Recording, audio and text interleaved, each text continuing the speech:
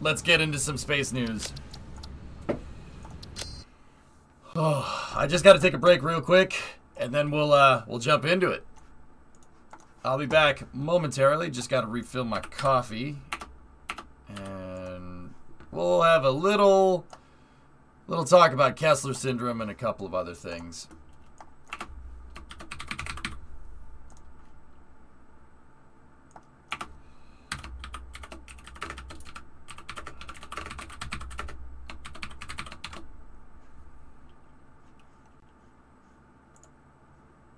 I'll be back in a moment.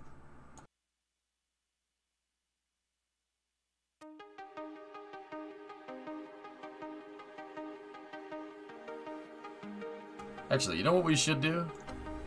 Let's get a let's get let's get an info movie going, shall we?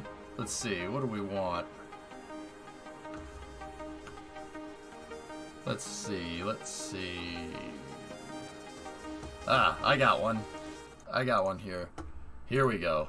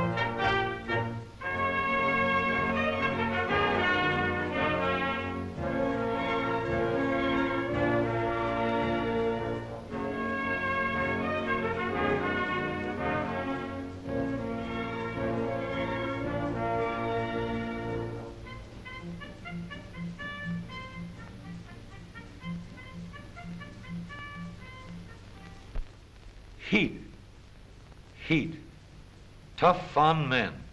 Hard on everything in the world.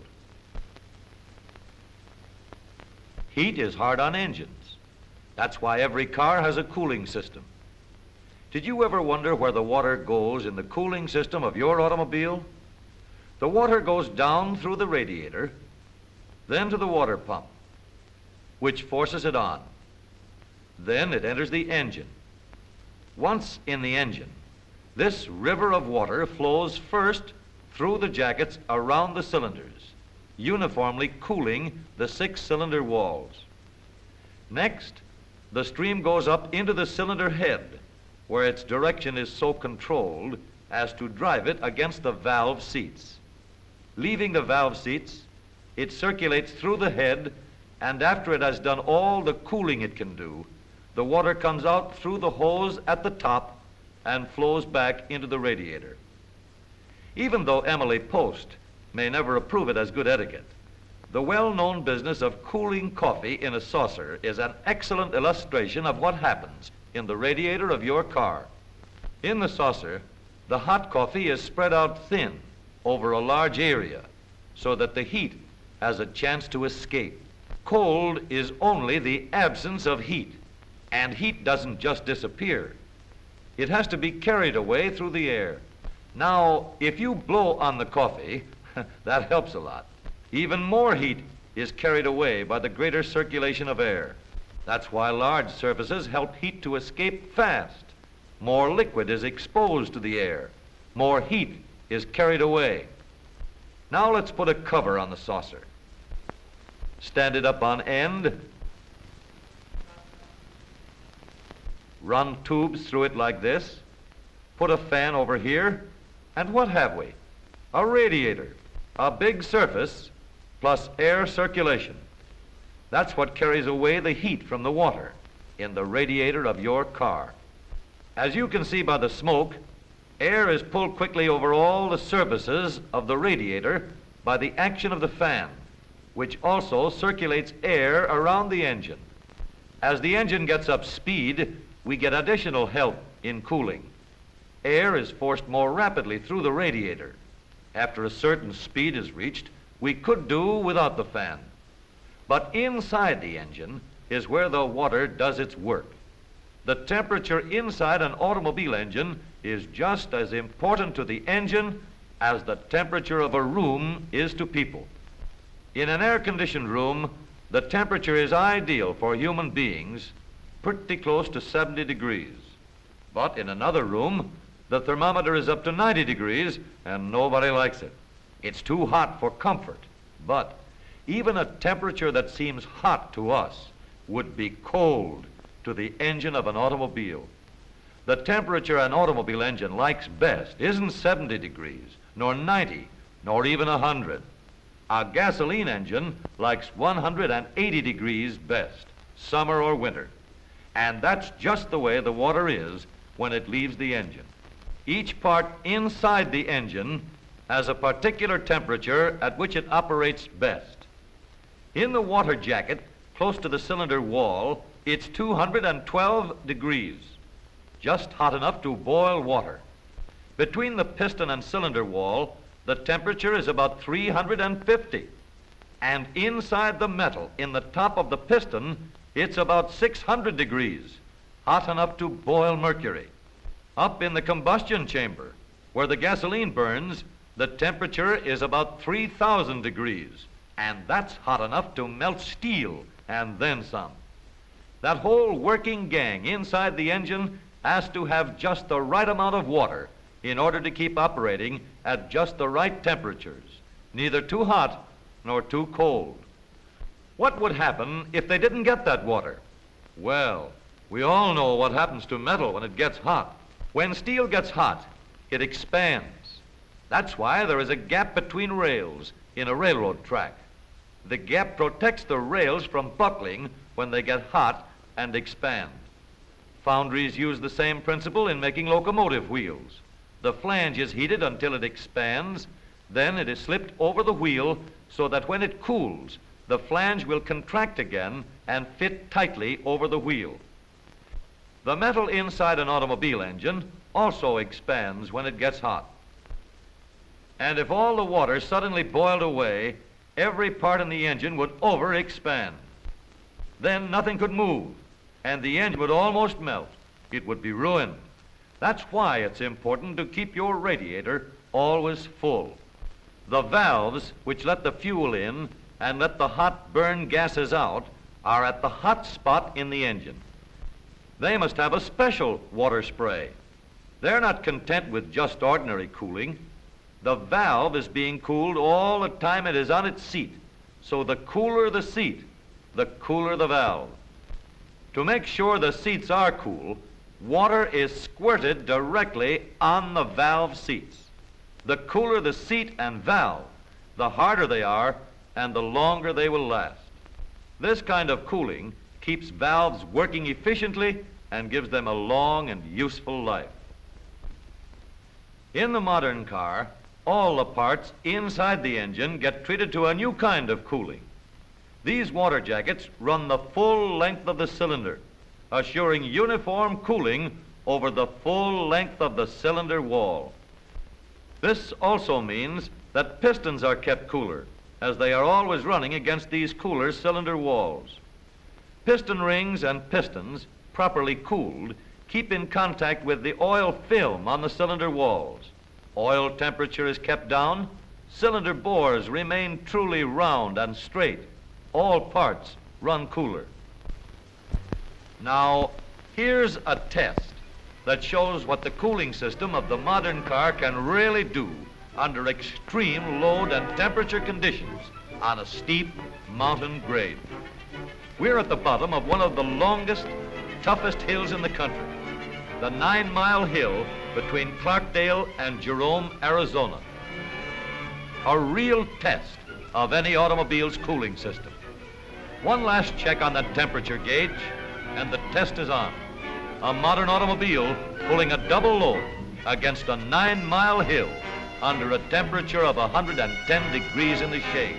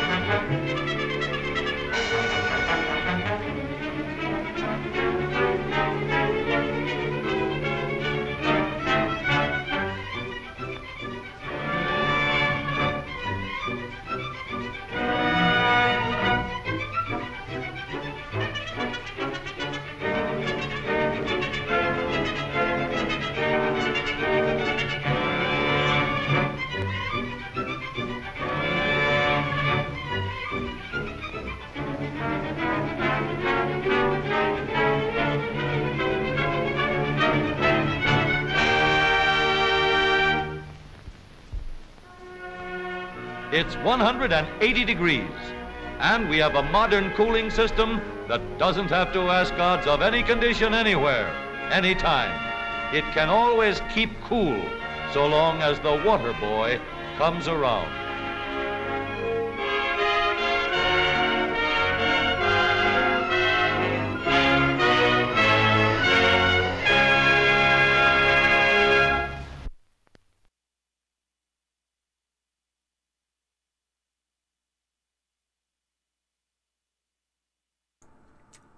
That's pretty cool, huh? Little bit of thermo right there. Very basic thermo. That's pretty neat. this is the weirdest preview for the Water Boy I've ever seen. I learned so much. Yeah. Guys, modern cooling systems do this. I mean, God, that hasn't changed much. I'm not gonna lie to you. That that has not changed. That's pretty. you could take apart an engine. You'll see the cooling galleries. They're there. They look exactly like that. That it doesn't change much because physics doesn't change much. Not not that nobody has made like an advancement on a cooling system, but pretty much. The, I mean, the physics doesn't change. You know. One more? You want one more? Might be a good resource for today's topic. History of ASAT tests in space. I don't want to talk about this, man, at all. I don't want to talk about this at all, bro. But yeah, all right. Well, that's cool. I didn't realize the coolant wrapped around the engine like that. It's all about surface area, Typhoon. The more surface area, the the more surface area that you can expose the water to, the wa- water likes absorbing heat. It's very good at it. It's a very good heat exchanger. Go figure. Uh, I mean, that's like the basis of every power plant. For what it's worth, a power plant works exactly like that. It doesn't matter if it's coal, doesn't matter if it's oil, doesn't matter if it's natural gas, doesn't matter if it's nuclear. They all do that. They do exactly that. But they do it for a different reason. The heat generated by the power plant is used to boil water, just like the engine would boil coolant, right? And then they have the coolant go through a steam turbine. And that steam turbine, right? It'll it'll spin it up and that steam turbine is connected to a generator, right?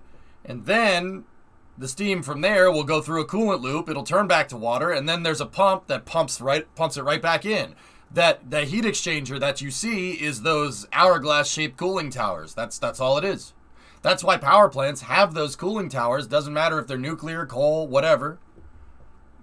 They all have the cooling towers. That's very important. That's you gotta you gotta you gotta take the take water, turn it into gas, right? Turn it into steam, spin the turbine, and then flip it back. Every power every power plant that's not wind, uh, solar, and hydroelectric does that. What's the best engine? Uh, uh, that's open to interpretation. How did launching that shuttle go? Bettina, I haven't gotten it done yet. We were working on ground systems yesterday. There are some engines that are air cooled. Yeah, they just have heat sinks on top of the on top of the pistons, and then so, like a Porsche back in the day and a Volkswagen Beetle, for what it's worth, they don't have a radiator. No radiator. You don't need one. They use they channel air underneath the car, and the air flows over the engine. Now, keep in mind, air is a good heat exchanger. It's not as good as water. So the air cooled engines were susceptible to heat. They could overheat. That's why Porsche stopped doing that. Do you have something to share about the turbofan engine? A turbofan? Uh. In the Blues Brothers, the engine threw a rod. What does that mean? You bent a rod end. It happens from overheating. Discovery, go at throttle up. There's an M8 Ford armored car on Bring a Trailer. Went by. What the hell am I going to do with that? I mean, okay, that's not the point. I get it. Script 13 month resub. So a turbo fan? Um I'm not sure if I have one on turbo fans. Turbo fans Okay, so a turbofan is a jet engine. So okay, they came up with this idea back in the day, all right? There's the turbojet, and the turbojet was invented by a guy named Frank Whittle. So what does a turbojet do? A turbojet has air that comes in, and then you have a compressor you have a compressor wheel at the front, and the compressor wheel sucks in the air, it compresses the gas, right? And then that goes into what's called a combustor. From there, the combustor basically just sprays fuel onto that air and it the combustor in order to turn the jet engine on you have to you have to hit a spark igniter like it's kind of like lighting a grill same concept. If you have a gas grill you turn the gas on right? The gas is flowing but you need a source of ignition. Once you have a source of ignition the gas just keeps flowing. You only need to hit the spark plug once. Jet engines work like that. Um, so if it hits the there's flames inside of the combustor right from previously ignited fuel right? And that lights the fuel on fire and the you go the fuel explodes combusts just like a car engine and then it flows out through a turbine wheel and that turbine wheel eh, because the gas is expanding it's being accelerated it spins the turbine wheel and that turbine wheel spins the compressor at the front it's connected on a common axle now this is designed to generate thrust. All right, so this generates the gas is getting accelerated out the back. Make make thrust. That's a turbojet. They came up with this idea in the 60s called a bypass fan. So, what is a bypass? All right, so you have that same turbojet design, same thing. But instead, you have that same axle, so you have your compressor and you have your turbine wheel but your axle is actually hollow. All right? There's a hollow axle in the center, and there's a solid axle going through that. Okay? So you have an axle riding inside of another axle like this. Now, you have your turbojet. Your turbojet is get, making thrust. It's making a lot of thrust, right? A lot of air is being blown out the back. Now, that second axle is the key here, okay? So you have one axle rotating inside of another, all right? The turbojet is making thrust, and that thrust pushes a turbine wheel, another turbine wheel, that is separated from the first turbine wheel. That other turbine wheel is attached to that floating axle that's inside of the first axle, okay? That axle goes through the turbojet and out the front and is connected to a big frigging fan. That fan sucks in air. It sucks in air for the turbojet, but that fan inside of a duct, a ducted fan, also makes a a ton of thrust. You make way more thrust doing that. Now, why? Why do you make way more thrust? Well, the jet engine spinning the small turbine wheel that's pushing a huge turbine fan, right? Uh, the fan is a lot more surface area. That's a lot more air to move. Can make a lot more thrust that way. You can use the turbojet as a way to turn the fan. You ever you ever have like a pinwheel? You blow on a pinwheel, it turns. The jet engine is doing that. It's the jet engine. The turbojet is blowing on a turbine wheel, and that turbine wheel is attached to the ducted fan up at the front. Therefore, you have air that's being used for thrust that's bypassing the jet engine. That's what a turbofan does. Most modern airliners use turbo turbofans. So how does that look? It looks something like this. Take a look.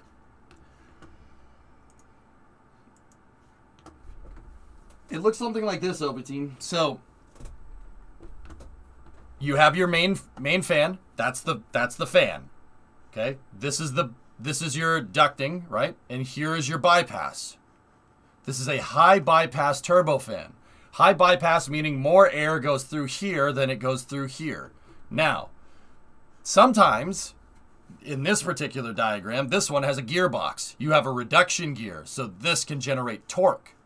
This thing spins at high speed, goes through the gearbox, a planetary gear set, and this thing makes way more torque that way. You can make an engine that makes way more thrust. Now, what you have here on your main axle, right? You have two compressor two compressor wheels, right?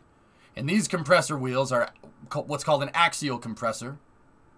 Uh, because air flows axially over the fan. It flows front to back. There are radial compressors where air flows in from the front and gets moved radially out the side. That's a turbocharger. A turbocharger is a radial compressor. Okay? So, these two that are attached to the fan before the gear set actually help compress the air. These fans upon fans upon fans upon fans on the fans are staging. Okay? So this particular high bypass turbofan is a one, two, three, four, five, six. This is a six stage axial compressor turbofan.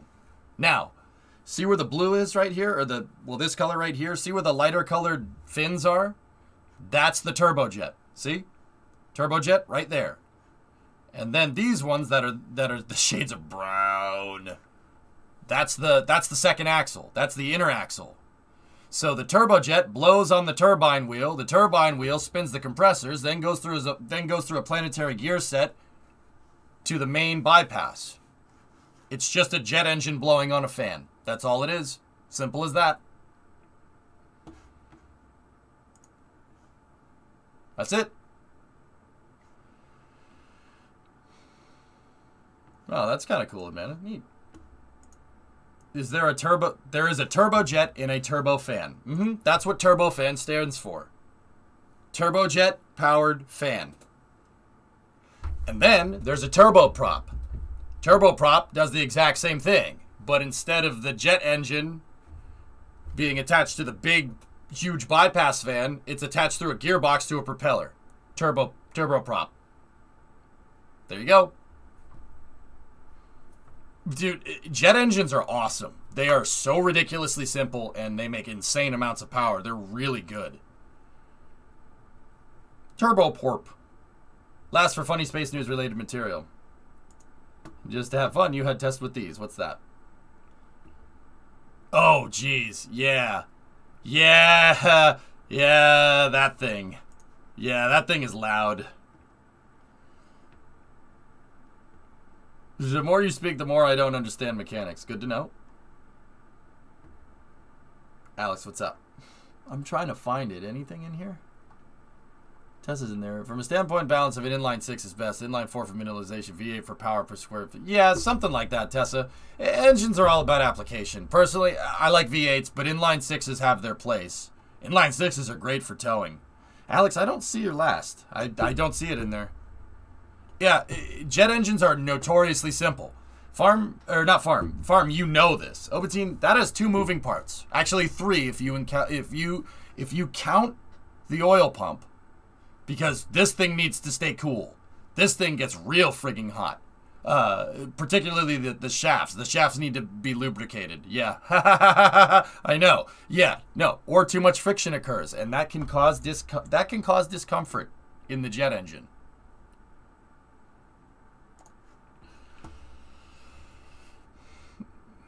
I'll go with the V12 over an inline 8, Tessa, right? How small could you make a turbofan?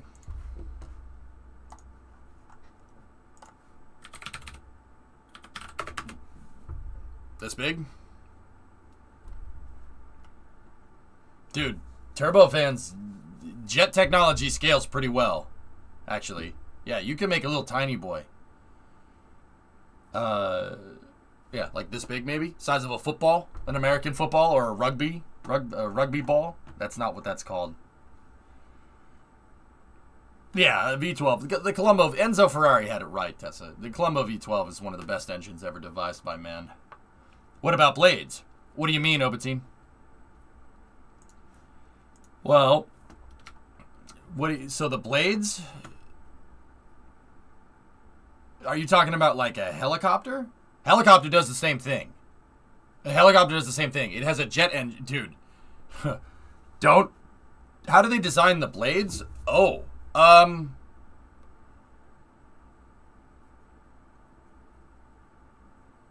I mean, where do you start? That that has to do with what's a principle called moment of inertia, or MOI for short. Um. So, Obatine, think about it like this, okay? I have a foot long bar of plastic. This is ABS plastic over here, all right? Foot long bar of plastic. Say it's about an inch in diameter, right? Just a bar. Like, whatever. It's ABS plastic. It's light, right? Because it's plastic. Then over here, I have the same thing that's made out of cast iron. Which one of them is heavier? This is not a trick question. Which one of them is heavier?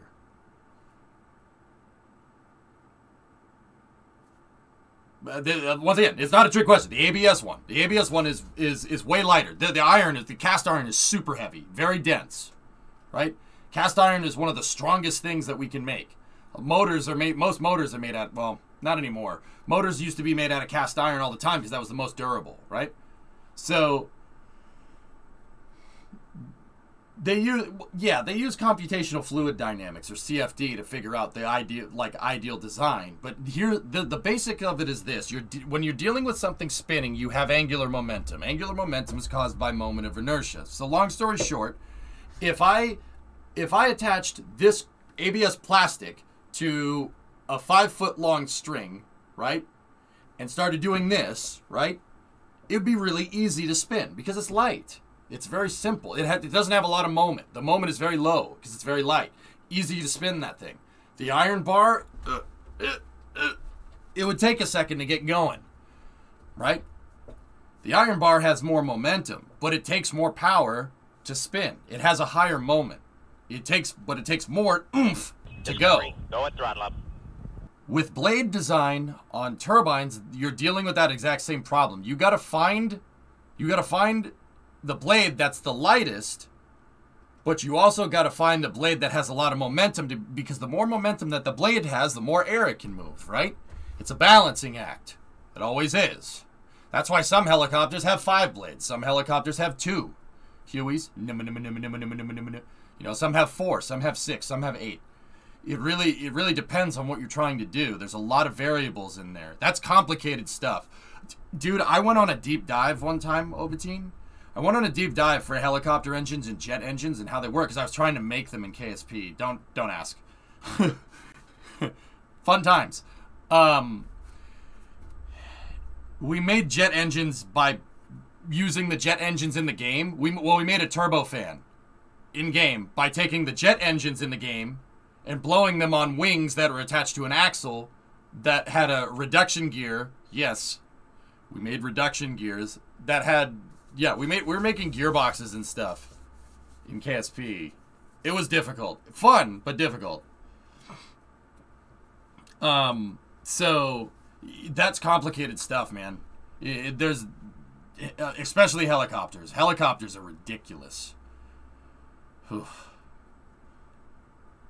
you think a car's drivetrain is complicated? You think a, a truck with four wheel drive has a complicated drivetrain? Helicopters make a four wheel drive car look like a freaking Flintstones car. Those are the good old days. Yep. Yep. Yeah. Dude, helicopters are insane. Heli. Oh my goodness. They're so ridiculous. They have gearboxes and differentials and and synchronizers and drive shafts everywhere. Like you, you'd be you'd be surprised how a helicopter works. You'd look at that and you'd go, "How the frick does that thing stay in the air?"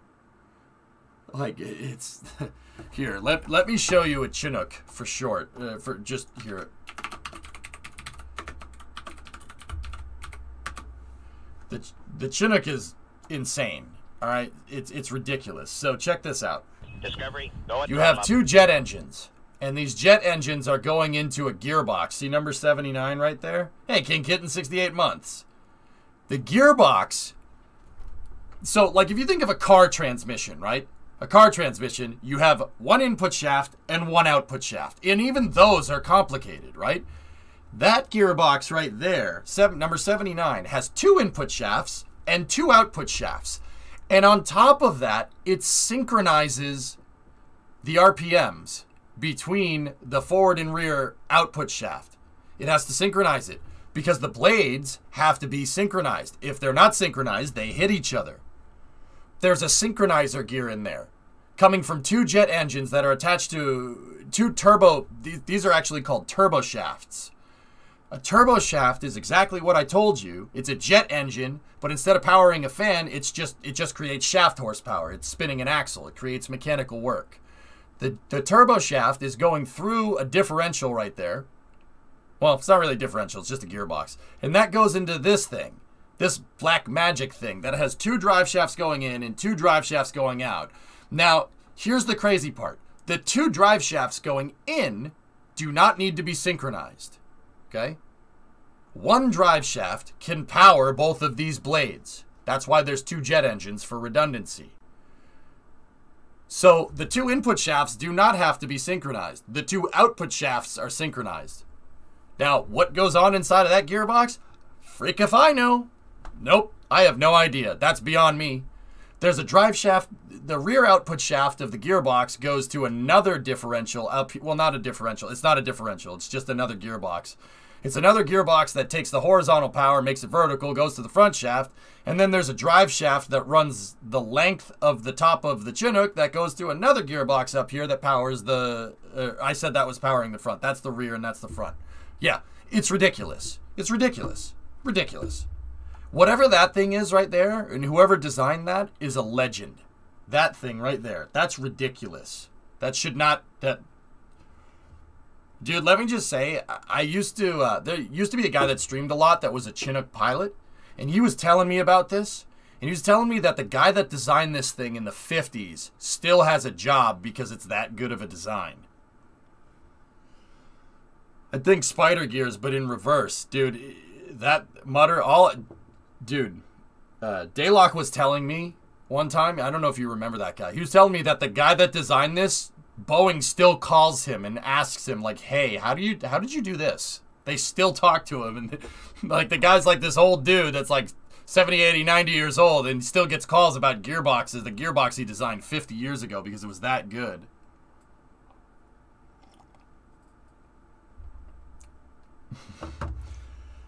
You had a CH53E mechanic tell me that if they aren't leaking, they don't have enough oil. Yep. If helicopters are leaking oil, that means everything is good. If helicopters aren't leaking oil, that means it's going to break because it has no oil in it. True story. How does it accelerate? By changing its center of mass? No, center of mass stays static. Center of thrust changes. Ovatine, that's a swash plate. Oh man, is your brain about to get blown? Watch this. So, somebody said show the swash plate animation. Helicopters, I'm telling you. So, S- Igor Sikorsky is the guy that came up with this. But, dude, this is this is ridiculous. How does the V-22 swivel its propellers? It has a it has a swash plate. Watch this. Oh wait, hang on, Red Runners. What am I looking at here?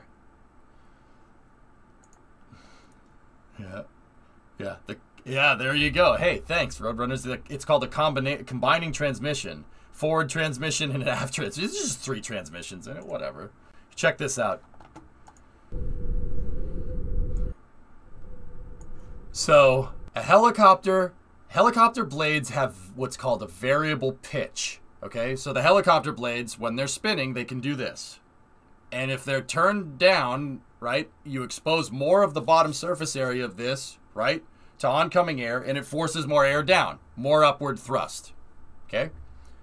With that being said, that's just one axis of movement. That's called collective pitch because you're collectively changing the angle of attack on all the blades simultaneously. That gets helicopters to go up. And and obviously if you pull if you push the collective all the way down, you the blades will actually they won't go down, they won't pitch down. They'll flatten out and you won't generate any lift at all and the helicopter will go down. Gravity will do its thing. Now, that's one axis of what a helicopter can do. The other thing is called a cyclic. If you notice, there's another actuator over here. Okay? This other actuator causes this swash plate to tilt. The swash plate can go up and down, but it can also tilt. It's it's a, it's around a huge ball joint right there around the center drive shaft. The swash plate will cycle cycle the the uh, variable pitch on the blades depending on where it is spinning around the axis. So, when you turn the plate like this, on one side of the blades, when the blades get to one side, they're pitched up, and when they get to the other side, they're pitched down. That modulates your center of thrust to the left, to the right, forward, and back. Combine that with the collective control. So you have your cyclic control, which is cycling the variable pitch on the blades, and you have your collective control, which is collectively pitching all your blades. You can get a helicopter that can move forward, back, left, right, up, and down. Igor Sikorsky is the guy that figured this out, uh, an American immigrant from Russia. Or Russian, Im- Ru- he, im- he immigrated to the United States in the 20s, I think. Sikorsky figured this out. Yep. Every helicopter flying nowadays uses a swash plate. Every single one of them. The Chinook has two of them. There's one on the front blade and one on the rear blade. Chinook has two swash plates. How do you it, and mecha- it mechanically interfaces with the cyclic and the collective? The Chinook has more pulleys in it than a Rube Goldberg machine. It's ridiculous, and all that has to work correctly, along with all the drive shafts and all the, everything spinning in synchronization. The fact that helicopters fly at all is pretty nuts.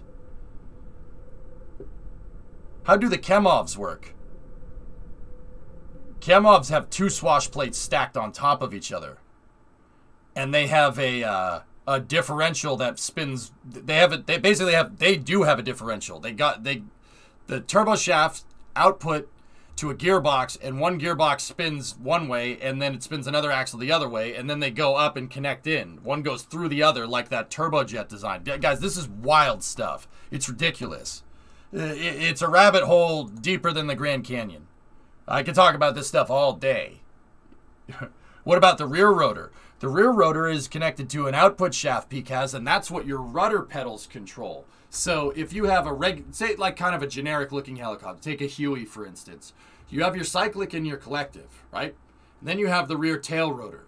Without that rear tail rotor, the blades that are spinning create so much gyroscopic precession that the helicopter fuselage will just basically spin out of control and the helicopter will eventually just flip over and crash. Sikorsky also figured that one out. So they have a tail rotor that's blowing air in one direction to keep the fuselage from spinning, right? That tail rotor also has variable pitch on it. When you when you take your your foot pedals on the helicopter and you move them left to right, it's changing the pitch on those blades in the back to either get that rear fan to suck in air or blow air to be able to yaw the helicopter in different directions. I'm telling you, it's wild stuff.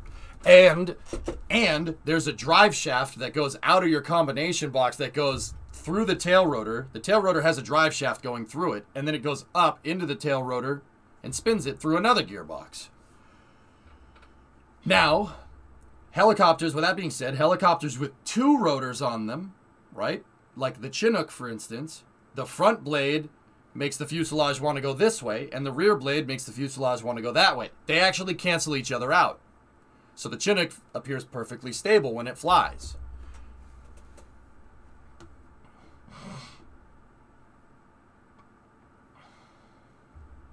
Have you ever considered trying out DCS? I've played DCS before. It looks so complicated. Yeah, the Russians figured out a way to have a tandem.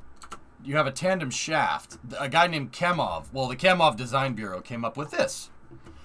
Yeah, double swash plates sitting on top of each other. One swash plate inverts the other swash plate, and it's on a gyro, like you, what you'd see on a BMX bike. It literally does the same thing. Anybody, if anybody here likes BMX bikes, there's, you know, the gyro that you use for the handbrakes, so you can move the handlebars 360 degrees. Yeah, there's one right there. Yep. The Kamov series of helicopters, so the Ka-25, the Ka-50, the Ka-52, they all have this. Two blades on top of each other, and they cancel each other out. These, this is called contra-rotation, or a contra-rotating helicopter. Why? Because you have two blades that are rotating in opposite directions. Their gyroscopic forces cancel each other out, and the thing just... Now, the Russians did this initially with the Ka-25. They did this with the Ka-25 because well, you don't need a tail rotor with this design. You just need something to prevent side slip when you're flying. The Kamov, these Kamov helicopters don't have a tail rotor. That that means you can make the helicopter really small. Now there's a key to that. Why would they want to make the helicopter small? Why, why why does it matter? Why would you want to make it small? I wonder I wonder who knows. Who knows this? There's a very good reason why.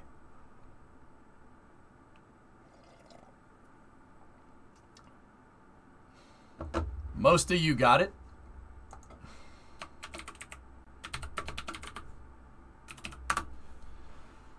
The Soviet naval doctrine basically didn't have an aircraft carrier. They didn't have one of those. The Soviet naval doctrine basically is as follows: the entire surface fleet is there to to um, basically support their submarines. So the Soviets during the Cold War, they didn't really have aircraft carriers. What they did have is helicopter carriers, like this, something kind of equivalent to a uh, an amphibious assault ship, like what the Marines use. Kind of like that, but also kind of not. It's kind of an aircraft carrier, but it really isn't. It's half. It's half like heavy cruiser, half aircraft carrier. They didn't have an aircraft carrier. They didn't have a super carrier. They they didn't they didn't do that with their doctrines. What they wanted to do was support all the uh, all the surface. They saw the surface fleet as useless. Like, okay, we make a big aircraft carrier, everyone's just going to shoot at it, which is true. That's correct. I mean, it's true. So they made these. They made uh, a bunch of these uh, types of carriers, and what these things do are designed to carry helicopters around that support the submarine fleet. And the you know, the smaller you can make the helicopter, the more of them you can fit on the dang helicopter carrier. Pretty straightforward stuff.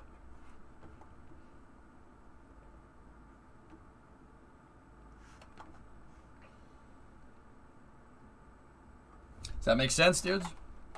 That's why they're small. That's why they made these Ka-25s very tiny. And that's why they wanted that's why they figured out that they wanted to do the contra rotators because you can make a helicopter that's about the size of a small car or well a large car let me put it that way little jet on the inside there who knows what those things are bonus points if you know what those are spoiler alert There's a flap in the front for a reason.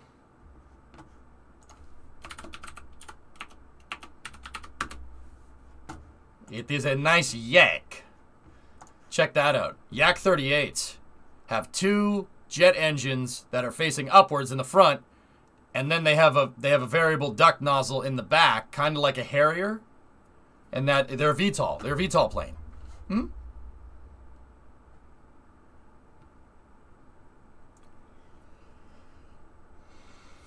Oh yeah, I got Gaffling, that's cool. Give me a Harrier any day. I think the Harrier's a better design than this. VTOL like the F-35. Yeah, kind of. The F-35 doesn't have a jet engine up here. The F-35B actually has a drive shaft that comes out of the front engine here. And that drive shaft is connected into a gearbox, and there's a ducted fan, Obatine, a ducted fan that points up and down.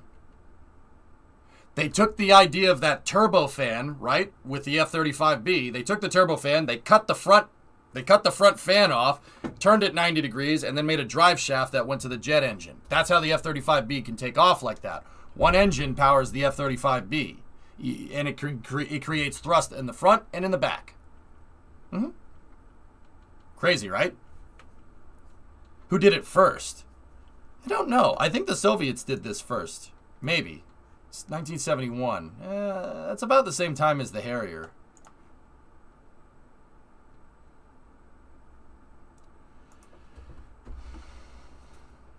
Yeah, they're they're pretty cool, pretty cool planes. Very very tiny. I mean, look at that thing. That thing is small. It's a small it's a small plane. Look at the guy standing next to it. I bet the Germans did it. Mm, the Germans never really got VTOL correct. If you're talking about the World War II Germans, they never they never really got it exactly right. They did make a contra rotating helicopter though, and it was pretty good, but they only made like two or three of them, and they, yeah, they got blown out of the sky, I think. Or well, no, they, I don't think they got blown out of the sky. I think they got bombed, if I'm remembering right.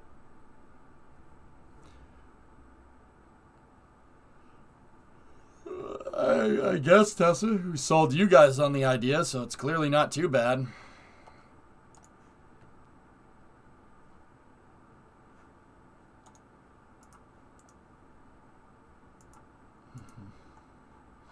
How do the Osprey blades work? Oh boy. The V22 is... Uh, Thanks, man. Good to see you today. Right on. You know how to talk. You can sell me dirty underwear. Okay, cool. Um... So, okay, the V22. So, think about this, fellas. Remember what I just told you about how if you have two blades, you need two cyclics and two collectives, right? Right? Also, when you have two blades with a helicopter, like the Chinook, they need to stay synchronized, right? Makes sense? The V22 does that. The V22 has a drive shaft. It's two C-130 engines, first of all, and they're turboprop engines, right? Like on a C-130. Except it's connected to a hybrid kind of three-blade design. It's half it's half helicopter, half airplane.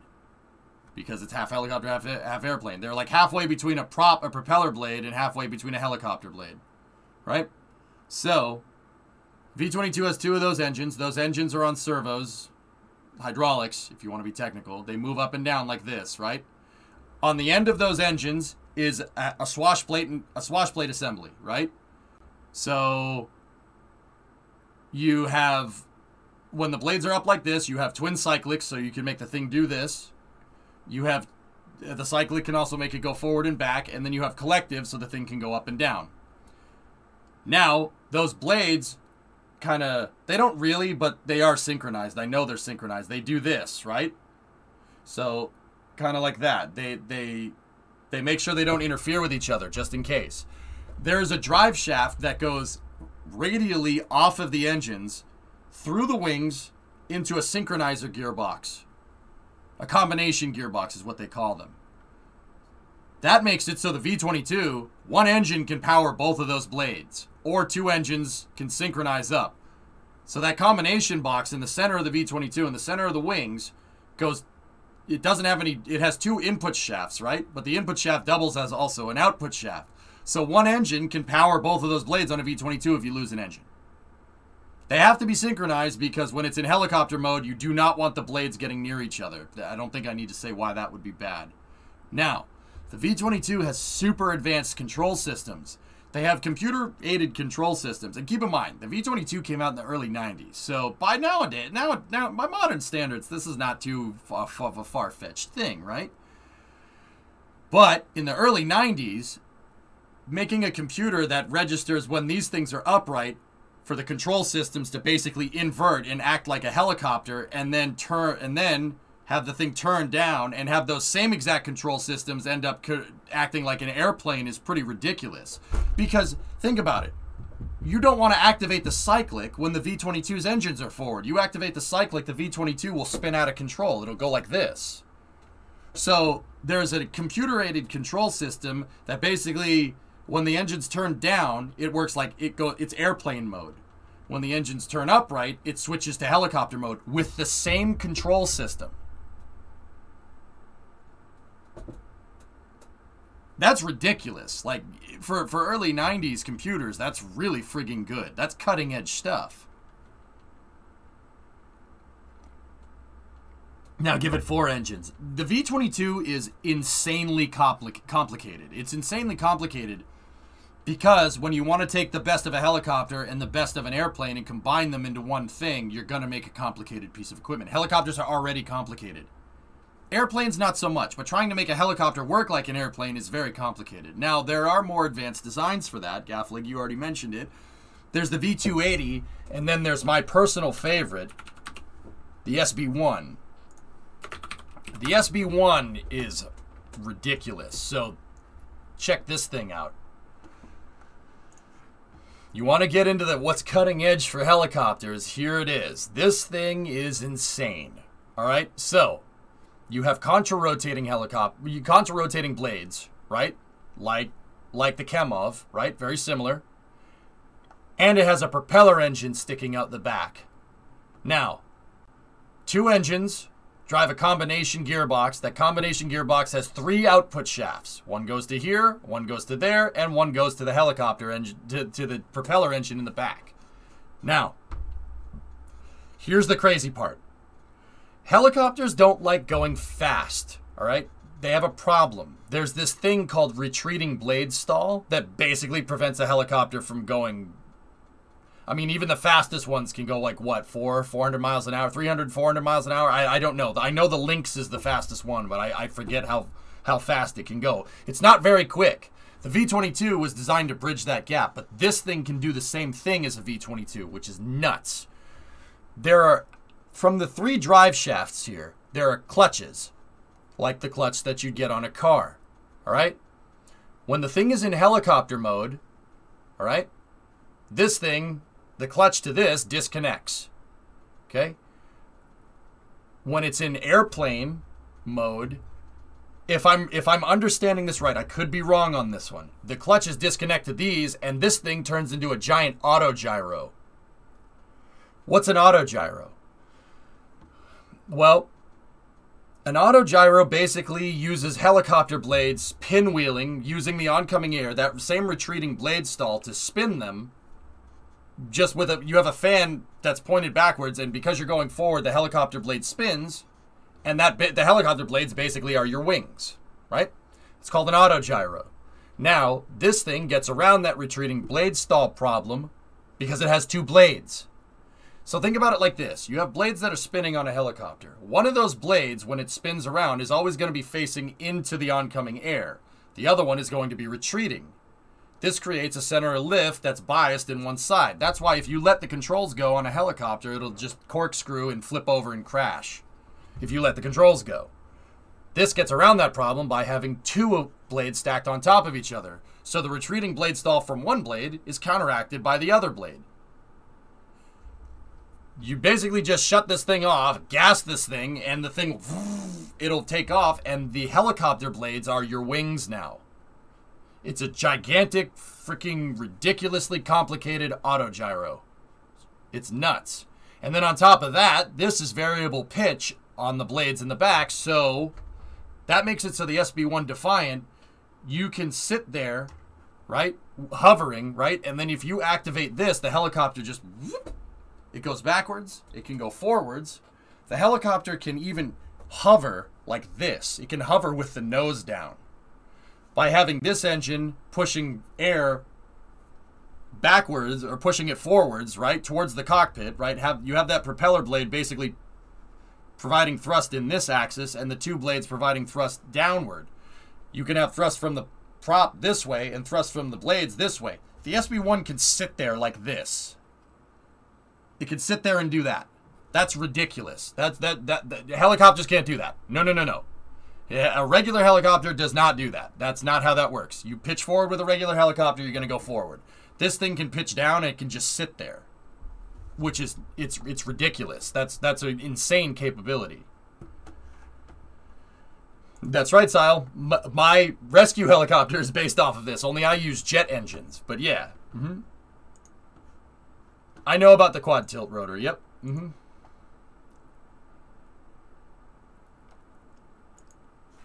SB1s are the dude. That's like cutting edge stuff right now. They're they're testing the thing right now, and I'll tell you, it makes it makes the weirdest noise. It sounds like a drone. It's ridiculous. That's it's a crazy piece of equipment. Here, let me see if I can show you the SB1 hovering sideways. It's it's weird, man. Like you look at you look at it and you're like, uh, okay, it, it does that now. All right. Uh, let's see if I can find a video. Some pretty poggers things for space news. All right, cool. Using a little bit of prop pitch Here, to move the let's see what we got. forward and aft. As you see a transition from forward and aft like that, Watch this. notice that the pitch attitude of the aircraft is relatively constant. Yeah, bio.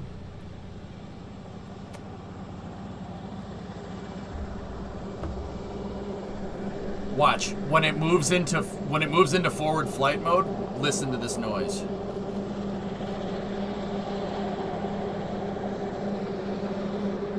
There they are. They're spinning up the rear engine. They engaged the drive shaft.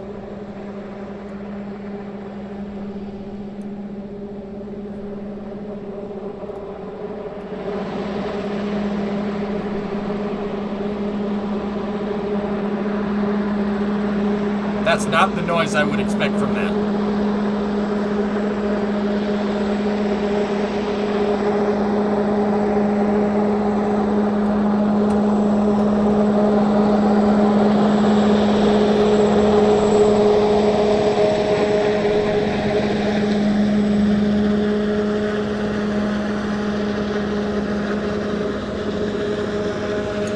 That thing is doing this. It's basically hovering sideways. Is that ridiculous or what? That thing is basically airwolfing.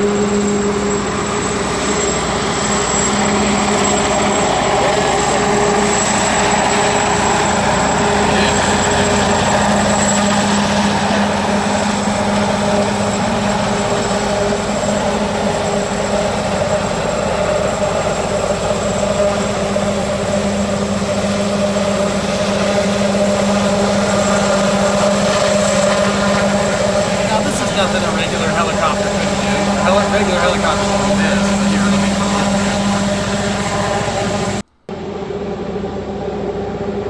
Watch this. Watch what happens when they spin the engine up. Listen to this noise.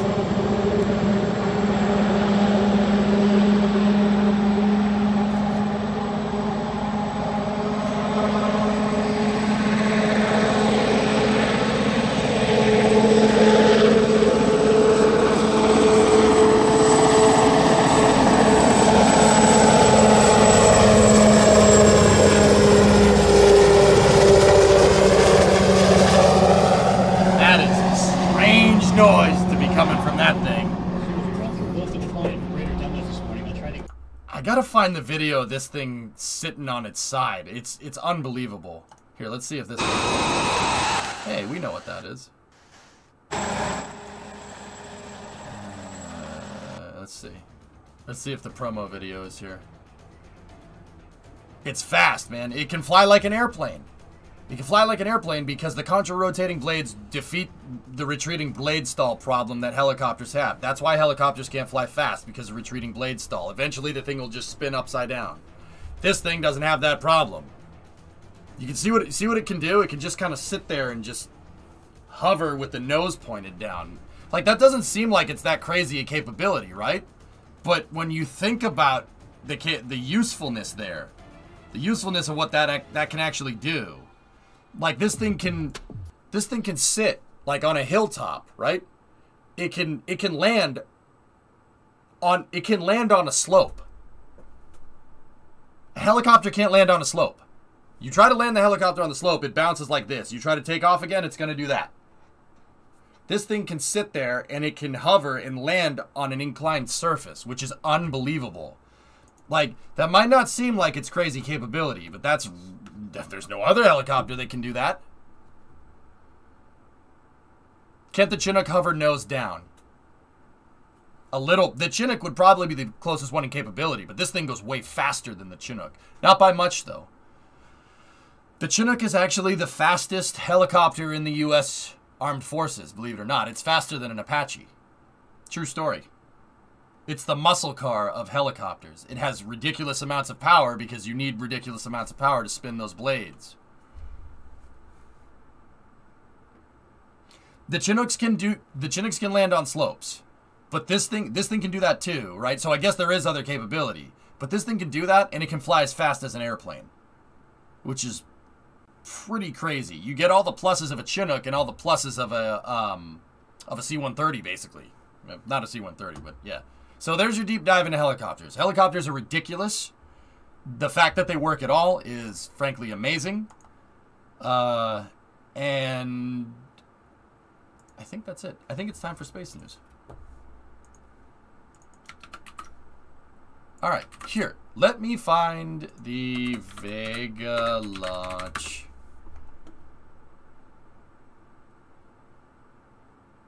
All right, let's take a look here. Any news on the ISS? Not really. All right. Let's go. The road to space. Where's the good stuff? Good morning, and thank you for being with us on That's Road not to your Space. voice. We are going live.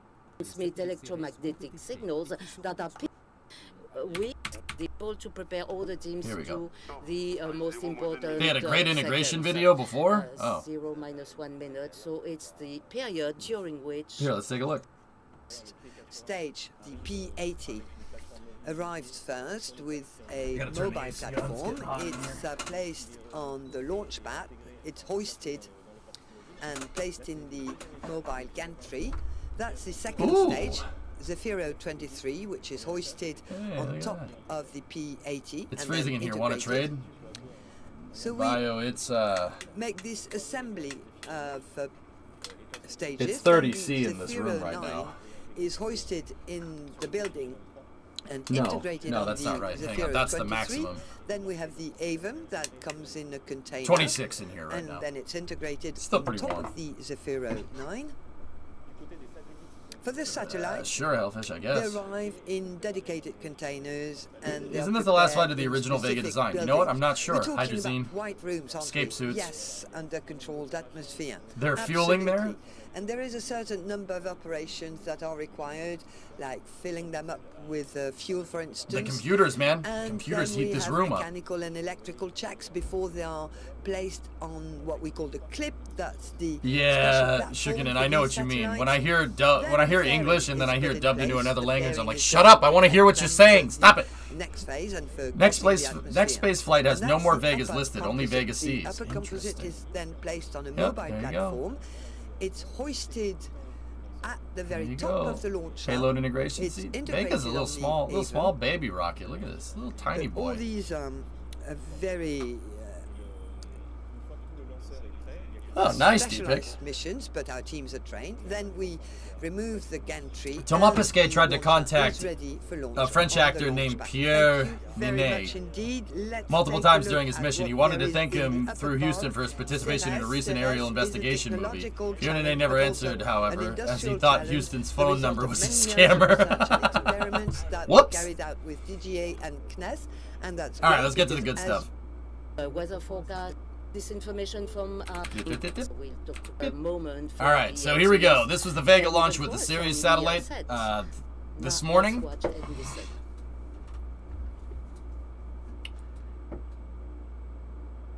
Vega is what I like to call a yeeter of a rocket.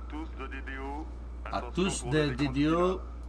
Stand by control for the final countdown.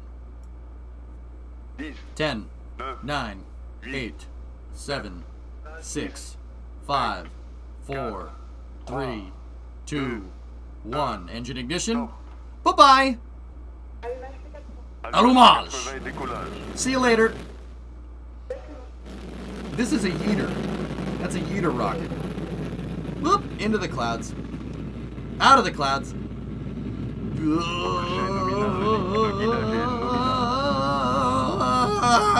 What have I done?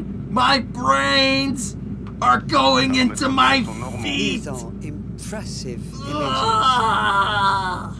I'm always impressed, and it's incredible to see that full daylight. I forget, Bio. No clouds today. It's absolutely wonderful. The Vega launch has been flying for 45 seconds.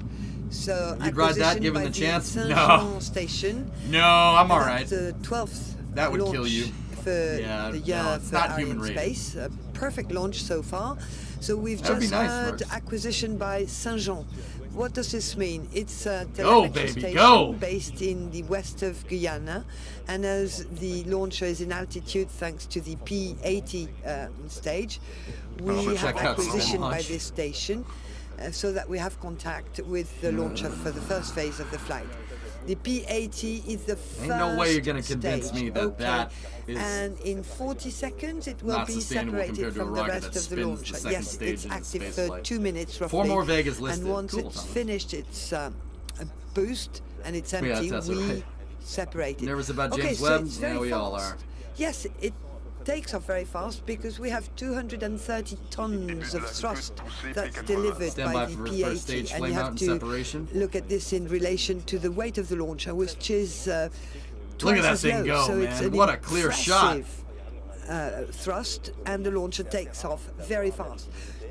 Yeah, these were impressive uh, If images. forced to launch on you a non-crew-rated launcher, what would you separation ride on, Proton? P80, it's been confirmed. And we see that the Zefiro 23, look at the P23 that You can the see it up there P80 on the that we top can left. see, and now we have the Z23 that uh, continues this thrusting. Why several stages? Why several engines? Well, the principle is to get rid Oh, of nice dead tracking weight when you don't That's need it anymore. So when a stage is over and has consumed all its propellants, if we keep it on board, we carry dead weight in space. In space, I and that's know, Ryan. costly. So that's why we have different stages in a launcher, so that we can I get mean, the P120 rid is of better. weight as we go. The trajectory, Trajectory is, is nominal. nominal, says the DDO. It's incredible.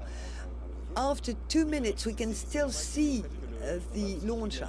Yes, it's normal. We are we've gained in altitude, but uh, we're still uh, not far from Kourou in terms of uh, geography. Great freaking, great footage, now, man. And then they switched to the telemetry view. Not bad, man. So everything seemed to go good with this mission. I was gonna stay up for it, but then I decided uh, it would probably be better to be a little bit more responsible and kind of go from there. Oh look! Oh look at that, look at that little thing. okay. Old school French rockets, huh?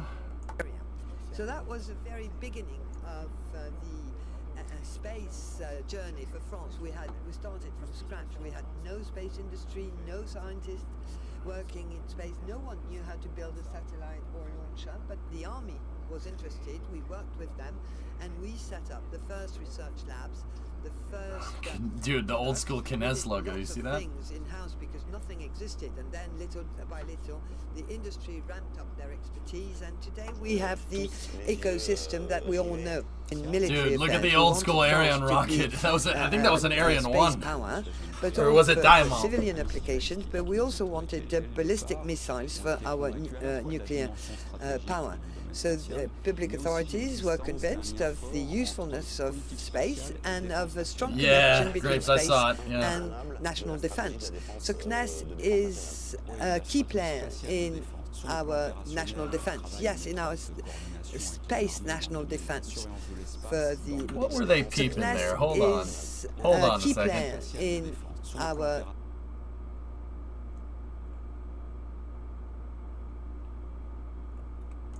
national defense. Yes, in our space. now.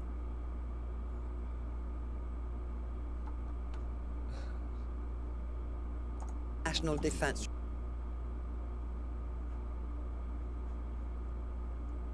Hmm. Wonder what the that was a diamond diamond rocket the only rocket entirely developed by france hmm GeoGuessr national defense edition i know what that is i'm pretty sure i know what this is i could be wrong hold on let me see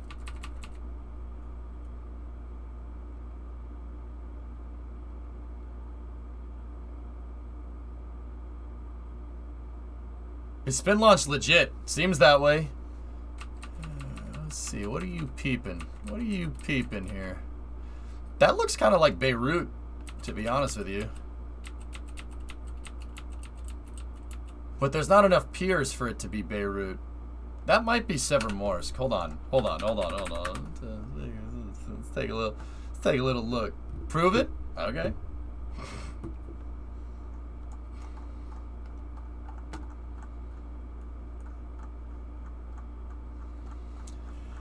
Nope. Not a match. Okay, so it's not Beirut. Yeah, nice, Flykin. There you go. Let's see. It could be Severomorsk. Or Severodvinsk. Could be one of those. Uh, let's take a look. No, it's not Severodvinsk. Nope. Last time, last time we we caught them peeping on Engels Air Force Base, which is hilarious. That's where all uh, that's where Russians Russia's bombers are, man. Could be Murmansk. Nope. Too nope, not hilly enough. Nope. Sevastopol? Mm, Maybe. Uh, this Severodvinsk. Where's Severomorsk? I forget. I think it might be. Hmm. Try China? Mm, I don't think they'd be peeping on China. I don't think it's St. Petersburg. I didn't, I didn't see anything that I recognized there. No. No. Nothing. Hmm. Kaliningrad? Mm, Kaliningrad? Nah, I don't think so. No, it didn't match. Yeah, I don't know. Uh, I thought that was Severomorsk, but it's not.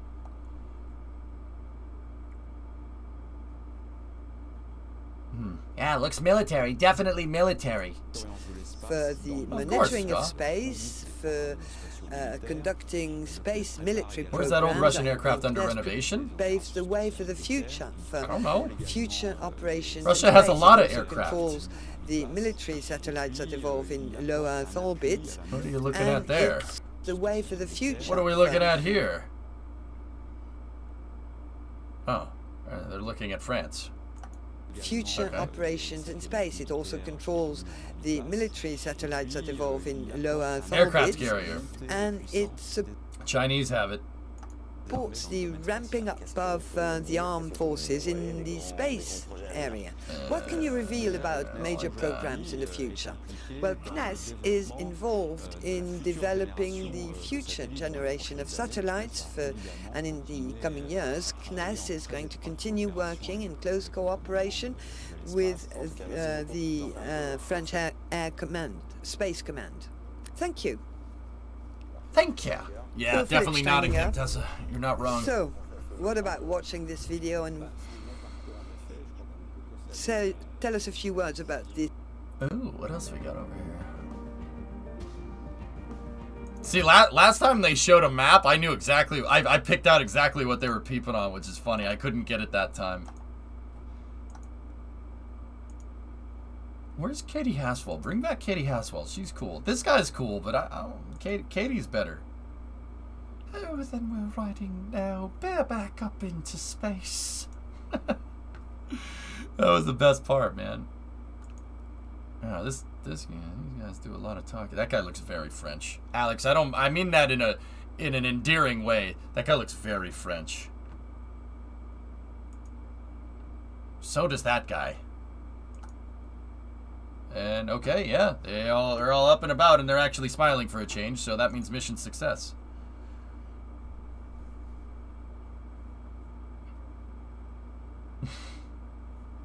Very French. Anyway, that was the era, uh, the Ariane Space um, VV20 Vega mission. Uh, that was this morning. I I was gonna stay up for it, but I decided to actually be responsible for a change and sleep. Uh, I got a good amount of sleep. How about you guys? Everything good? Yeah. All right. Um. So. Uh, frick. I don't want to. I don't want to talk about this. Uh. I've been basically getting asked this question for the past two days about what's going on. Um,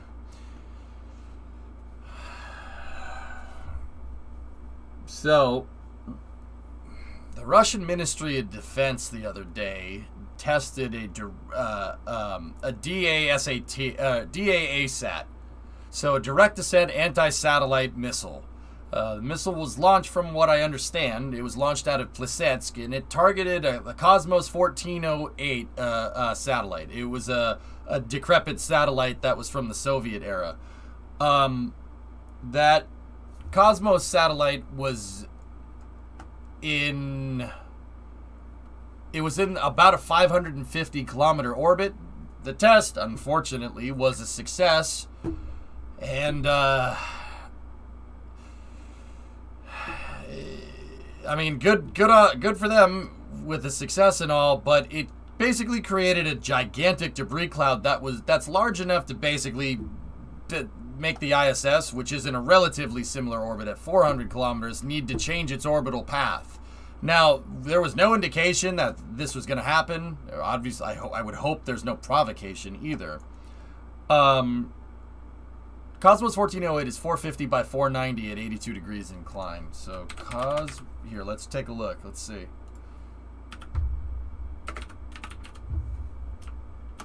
Hmm.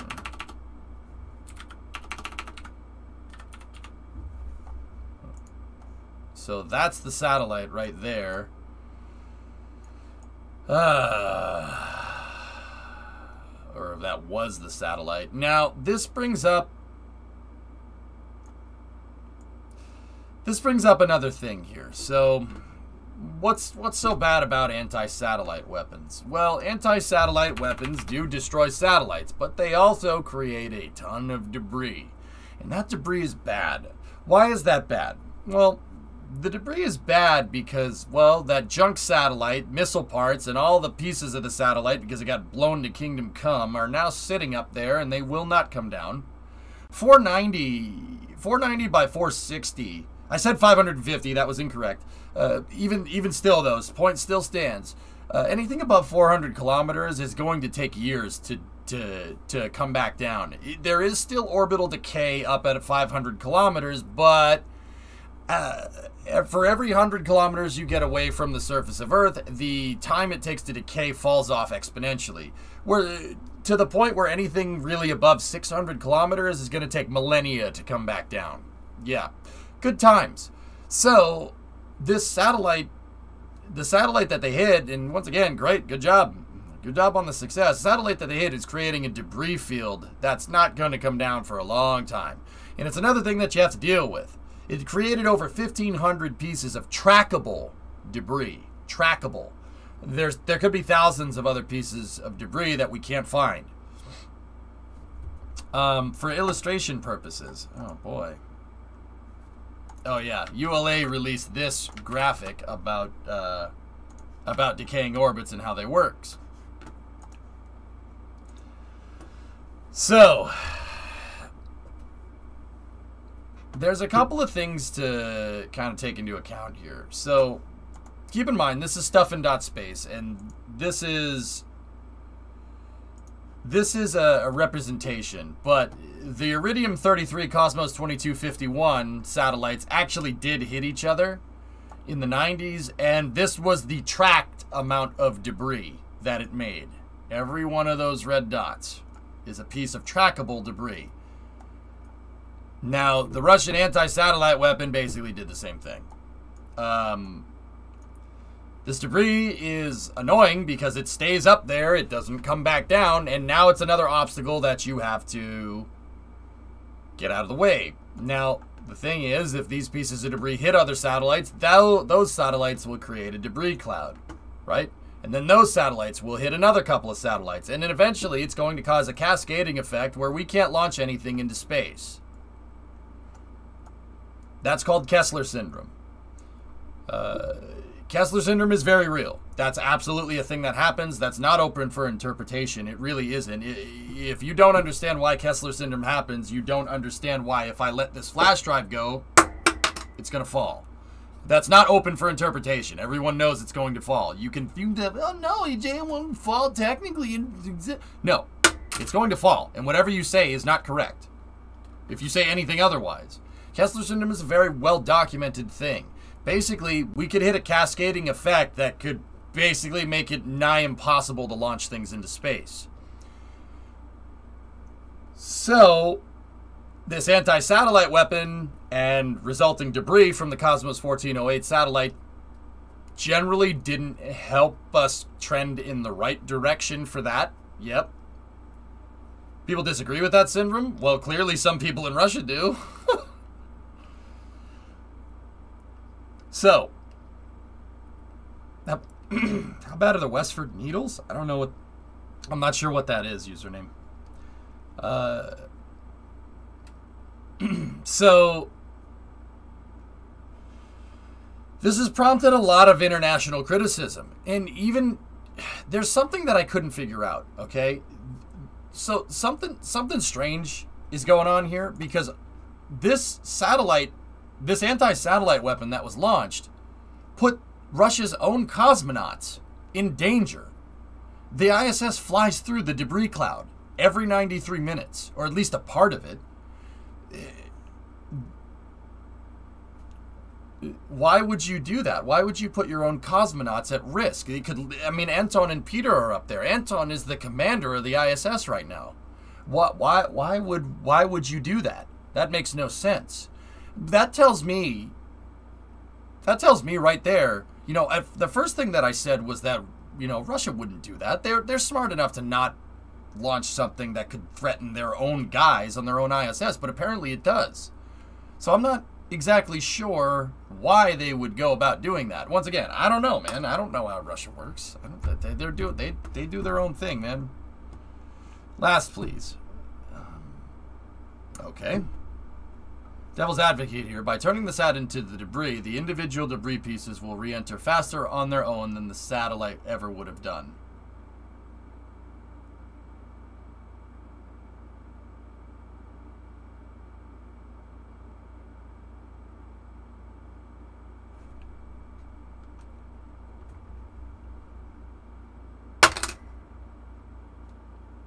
No.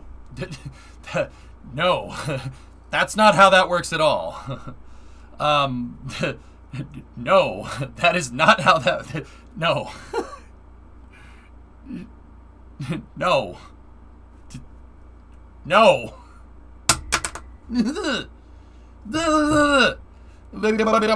No.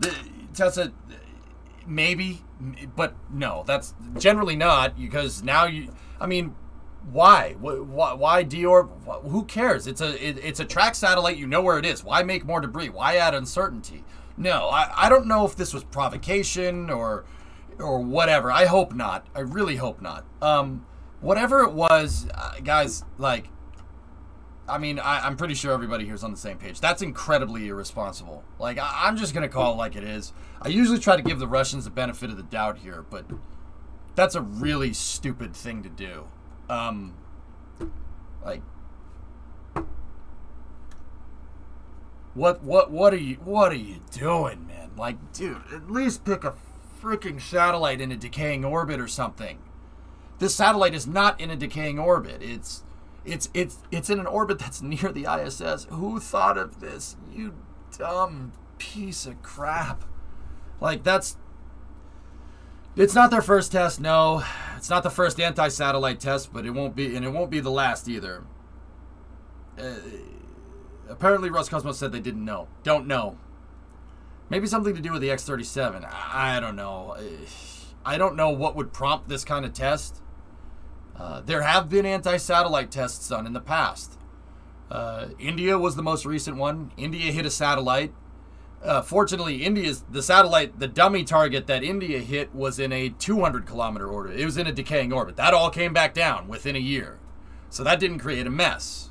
Tells me at least the Indians know what that they're being responsible with launching into space.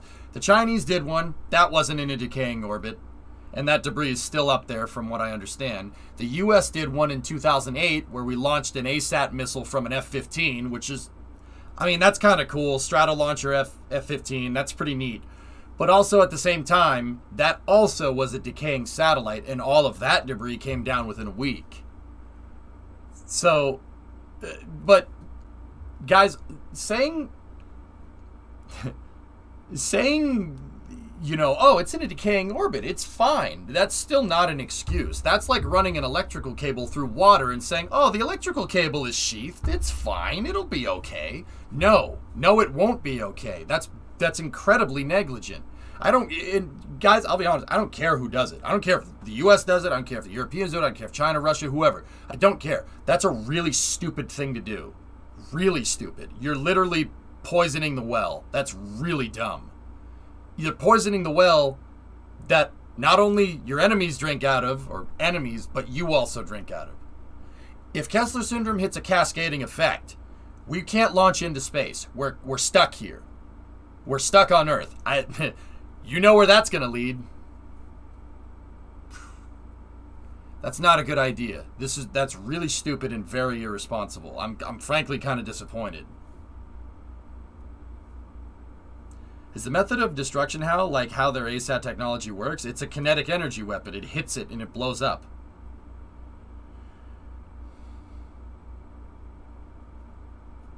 So, what's the legality of intentionally creating tons of space debris? I'm not sure, Pegster. I don't think there's a precedent for it, but I think we should move to ban anti-satellite weaponry. That's a really bad idea. It's very similar to nuclear weapons in that way. Everybody wants them, but if anyone uses them, we're screwed. Pretty much. Yeah, that's right. So, once again, I don't know if Roscosmos was told. I don't know if they weren't told. Uh, I don't. Okay, what's this tweet? This is coming from Bill Harwood over at CBS. Bill Bill does a good job. He he's very good. He's he's been reporting about space for a very long time. ISS debris. The Russian Defense Ministry said in a statement the U.S. knows for a fact that the fragments did not pose a threat due to the timing of the test and the orbital parameters and will be no threat to space station, satellite, or space activities in the future.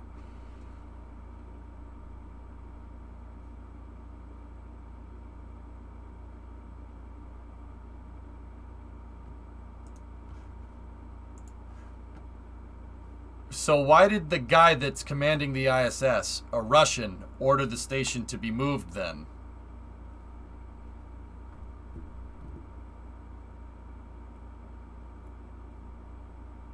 Yeah, that's true, Rocket Guy. DARPA wouldn't tell NASA about what they're doing. You're absolutely right.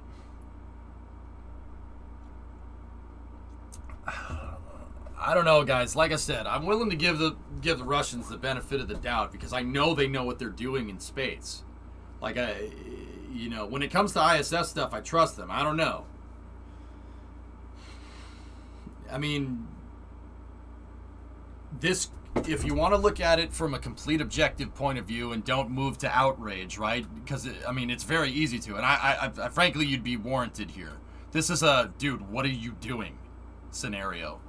Uh, there could be dissimilar assessments of risk mitigation between how the Russians conduct spaceflight and how we conduct spaceflight, or military spaceflight. Let me put it that way. Ugh, I hate saying that word or that phrase. Um, and then why did Rogozin tweet that together with the U.S. they're making joint plans? Yep. Mm-hmm. Missing the beginning of this. What happened? Russia shot down one of their own uh, decrepit Soviet satellite S-Master, and it created a debris field that's that intersects with the ISS. Yeah. Okay. Um. Yeah, exactly, Fazilla. Yeah. Mm-hmm. This is like having an igniter testing station in a fireworks factory. It's true. It's not a good idea. Uh, like, regardless of whether you have differential risk mitigation between the West and the East, that's this is just uh, uh, Dan Huot. nice. This is a NASA PAO. if humans can still fly back into orbit when I get back to work, that would be great. Harwood with Vande Hei's comments for today. Mark Vande Hei or Van Mark Vande Hei told Mission Control Houston the crew preferred notes on when passes through the debris clouds were expected, not distracting verbal warnings unless the hazard gets worse. Otherwise, he said, we're going to consider the debris passings routine. Ugh. Boy. So, I don't know, man. Decades ago, the U.S. did a similar test, but specific, specifically missed on purpose. I wonder if Russia did the same but messed up. They're now on damage control. I don't know, Smirks. I don't know.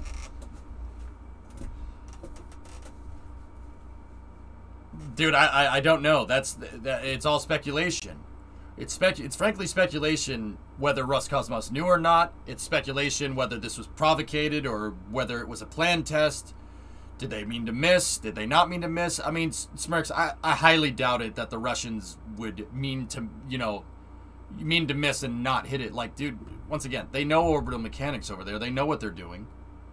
Uh, you know, what's very weird is that NASA hasn't put out a formal statement, and instead Nelson was going journalist to journalist and telling them. That's a little strange. So will the ISS be in danger once the debris field lowers in its orbit over time?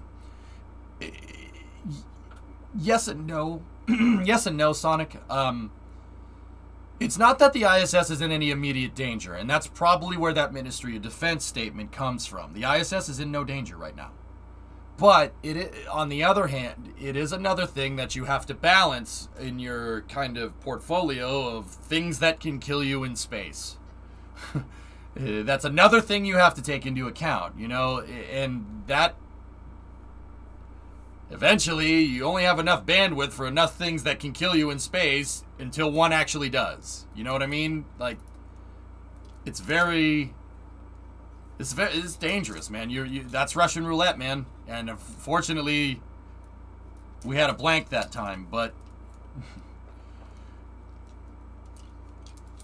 not journalist to journalist. There was a press release. Oh, okay. So, it's not ideal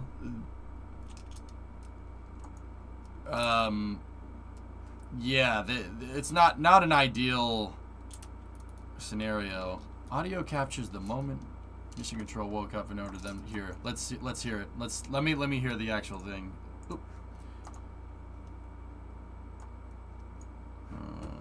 hello.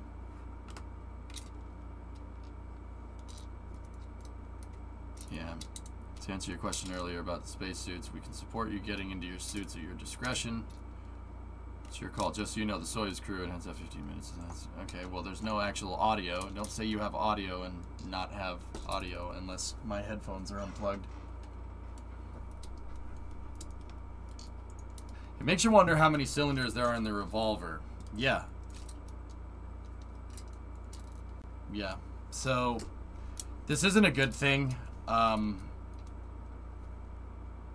it's not a good thing. And frankly, I'll be honest with you guys.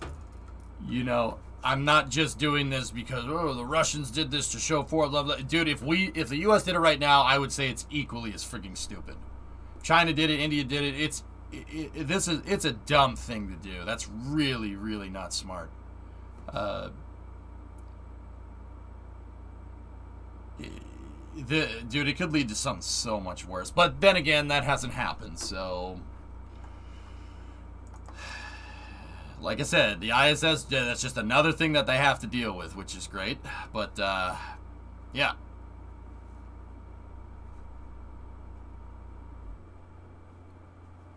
Uh, yeah, Sonic, I don't want to do that. that. That's the last resort, man. Last resort. Tom Cruise will go up and fix it. Yep. So that's the that's that bit. I've covered it pretty sufficiently. I'm gonna refer anybody else to this VOD that wants to see it to, to this because I frankly don't want to talk about it anymore. I've said what needs to be said, and uh, I think we should move on. So.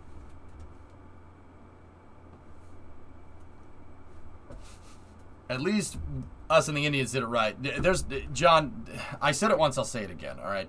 This is the last thing I'm going to say conducting an anti satellite weapons test and having it being in a decaying orbit so it's all fine is like running a high voltage wire through a pond and saying it'll be fine because it's it's insulated. Yeah, it how long until that how long until that causes a problem? You know what I mean? Oh, let's just run this wire that's not rated to go underwater. We'll just put we'll just plug this extension cord into the pool. It's fine. It'll be fine. The, the wire's insulated. It's fine. Yeah, okay, it might be fine for a little while, but how long until that how long until someone gets zapped? You know what I mean? Not smart. That like I don't care if we did it we did it right or if the Indians did it right. No. No no no no no no no no no no. Bad idea. Dude, I don't care who does it. That's just a bad idea. That's, I, I don't care who does it. I don't care if we did it. If the U.S. conducted an anti satellite test right now, I would say we are equally as stupid and we deserve what we get. That's not a good idea.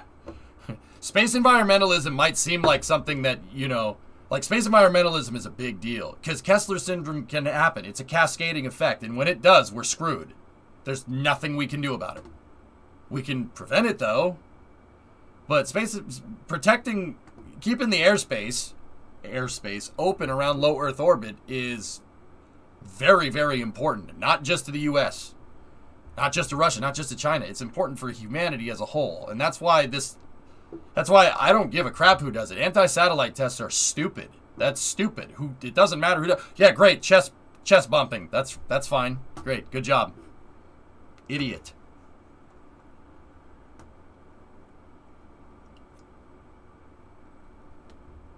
if we lose low Earth orbit, we're going to be stuck here for a little while.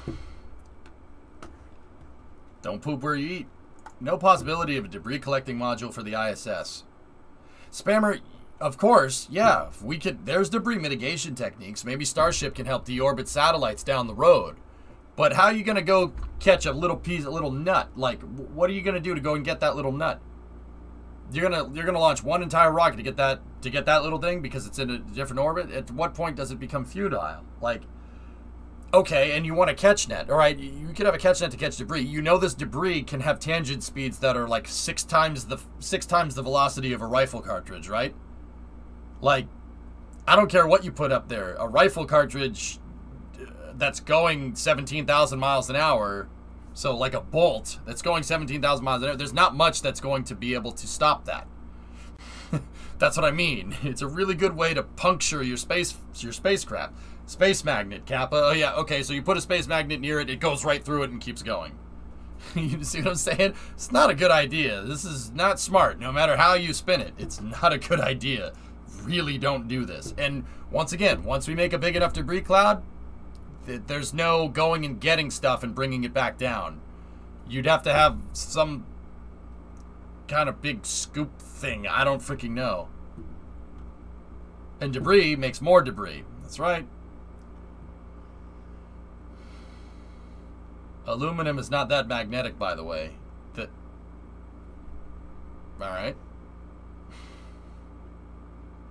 Oh, you're saying that because most satellites are made out of aluminum. It was a joke, Da Vinci. Did you see the kappa that he put in there? It was a joke, but yeah, you're right. If I understand correctly, Kessler syndrome can only destroy satellites at the height of the first collision. Not necessarily, Picaz. When you when something blows up in space, it's going in all directions. So something that's going this way hits an explosion is going that way now. So you're creating basically a cloud that goes in all directions. So that no, it's not just it's not just it's not just orbits that are in that altitude. It's it's orbits that are slightly above it, slightly below it. Eccentric orbits, inclined orbits. y- Yeah, that's a like I said, really bad idea. Hey, Ismic, what's going on?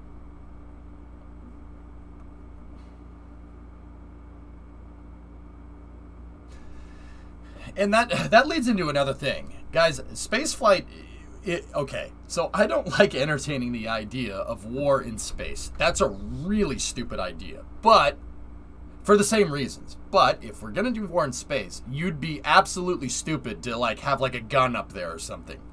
And this is something that the soviet union themselves and the americans figured out in the 60s guns in space are not a good idea. That's, that's not a good idea so say you fire a thousand rounds at somebody that's flying close to you. You fly that's a thousand bullets. That's a thousand piece of pieces of debris, and tho- those pieces of debris are going faster than most pieces of debris because you fired it already going seventeen thousand miles an hour, and now you accelerated it past that. So it's not a good idea. Blowing stuff up in space is really stupid. Like really stupid. And once again, the U.S. and the Soviets figured this out in the '60s. That's why we don't do it. Uh, it- it's not a good idea. Uh, war warfare in space isn't conducted like that. You don't need guns. You don't need guns. You got to remember that everything in space is trying to kill you at some point. A gun is a waste of payload capacity. Honestly, all you need is a nail. like just just a nail or a hammer. Imagine, you know, you fight it. You're fighting in space, right? You, you know, you you maneuver over to the other guy's EMU. You unplug his life support hose. He's dead. That's it. You don't need to shoot him. A wait. That's a that that that could cause problems because that debris could come back and kill you, right? Like warfare in space is not even fought that way. ASAT weapons, ASAT weapons would be like a sniper using a nuke to take out one HVT. That's really stupid. It's overkill. You don't you don't need to do that. You could just use one bullet. Just bye bye. So, killing other humans, how medieval? Yeah. Turning your nose up at basic human instincts. That's good. Okay. Anyway, so like you go and you clip the other guy's solar panels or something, or you go near a satellite and you have a little jet that pushes the satellite, pushes the antenna in the wrong direction. That's it. That's all you need to do. You don't need to blow up satellites. That's that's not how warfare in space is fought. And this is not like, oh, that's what EJ thinks. No. You don't need you don't need weapons in space. You could you could just fly a spacecraft near somebody else's satellite and deorbit it. A, a missile is a really stupid idea. Or you could just turn the turn the antenna on the satellite away from Earth, and the guy goes to find his satellite. It's not there anymore. Antennas are facing the wrong way. It's something as simple as that. Or clip the other guy's solar panels, like in the show, like in Space Force, right? Right? There's there's other ways to do it. It's a sniper using a frag grenade in a living room. Yeah, yeah. There you go. There you go. It's not a good idea. And like I said, that's all I want to talk about it. It's a really stupid thing to do. Like, I don't mean to take like I don't like doing that. I don't like taking turning my nose up and oh my god, how dare you do that? That's a really stupid thing. It's a it's it's it's dumb. That's it. That's all. So let's jump into Starship news. Let's see what's going on over here down in Boca Chica. We got three videos, I think, today. These are coming from our buddies over at NASA Spaceflight. Uh, this footage was shot by Mary, uh, Boca and Nic Ansuini, the two full-time photographers down there that NASA Spaceflight has. Yesterday, they did do some flap tests. They'll, we'll probably see that in the video. Prichal has been encapsulated. Cool. What are your thoughts on the old 007 movie Moonraker? It's about as realistic as Star Wars. Cool. Prichal capsule. The next ISS module will be ready to go. Also, some lunar news. Highly specialized team to design vehicle for sustainable lunar surface mobility operations. Oh boy. All right.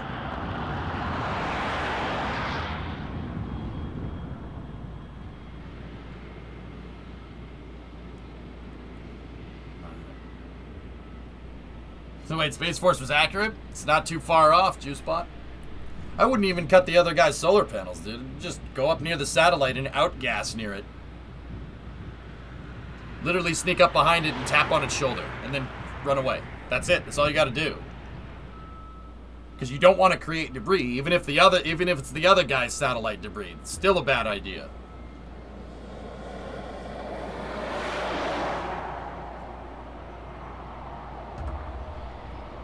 All right, let's let's take a look. Let's check out these Starship videos. Here.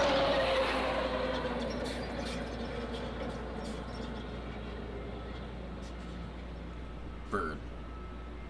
Just crop dust them. Seriously, that's it.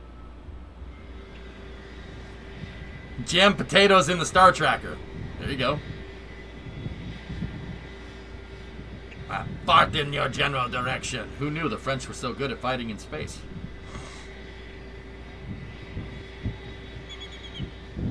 I blow my nose at you, so-called recon satellite. There's ship number 21. Look at that. Wow, that looks way more concise than than 20 does, huh? Look at the tiles. I love it. It looks amazing.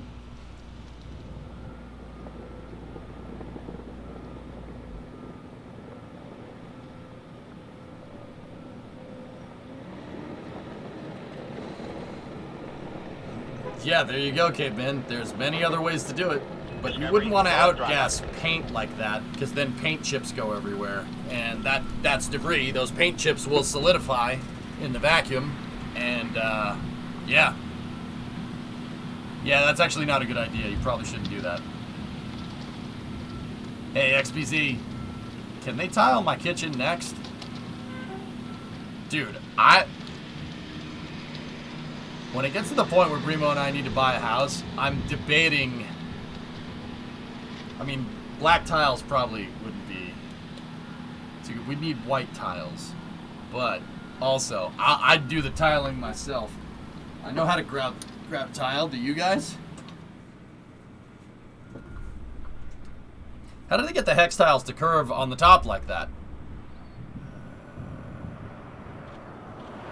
Uh, they have a couple of different shapes of tiles. It's not just hexagonal tiles. They have a, a one that looks like a baseball home plate. They have a couple of square tiles, and that's it, I think. Who wrote the moon rules, number one, on my car? You'd have to write OK on every tile. I'd do it. You could get solar tiles. Uh, that would be good, but these are for a different type of thermal. Tough rock patio pavers. Be great if you had a house in Arizona. You wouldn't have to worry about the sun melting your deck, but then again, a rock can do that too. It's a little, probably a little cheaper.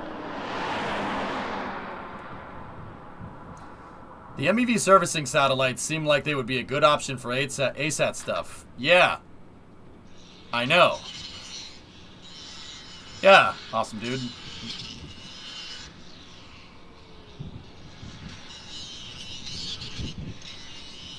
Mission extension vehicle.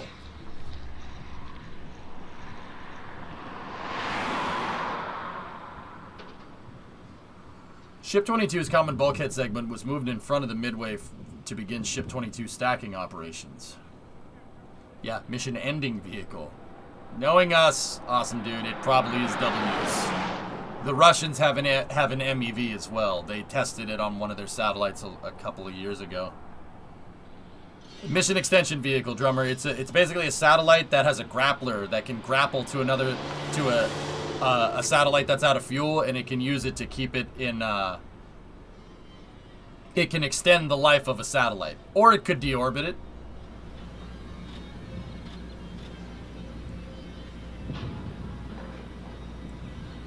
The MEV you made in KSP was sick. Thanks, man.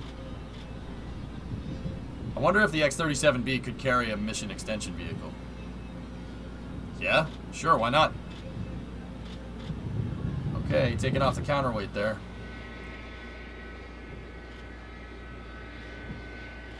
Hey, just joined. Why is it on fast forward? Ooh, look at the aero cover.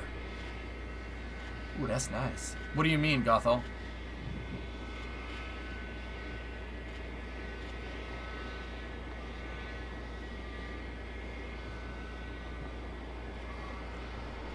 yeah, I remember that. I'm just like, I witty joke.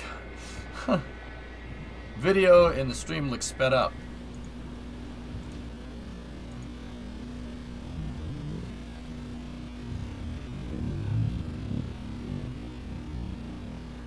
Is this better? Does this make you happy?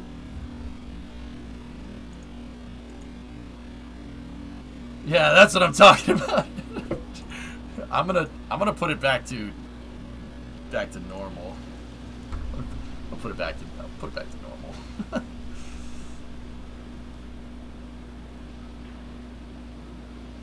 Where's that aero cover coming from? It's not on site. Some some contractor. Oh, look at that little baby crane. That's cute.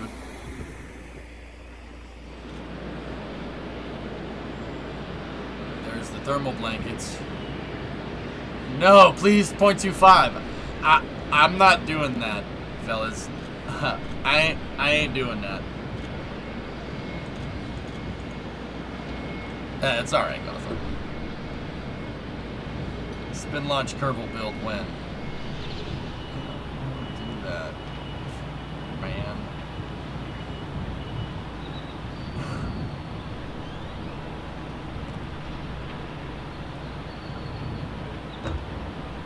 No, Fazilla, they're still there.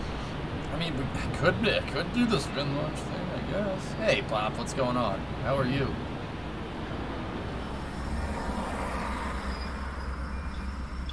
I still haven't replaced those tiles on 20, which is a little... uh,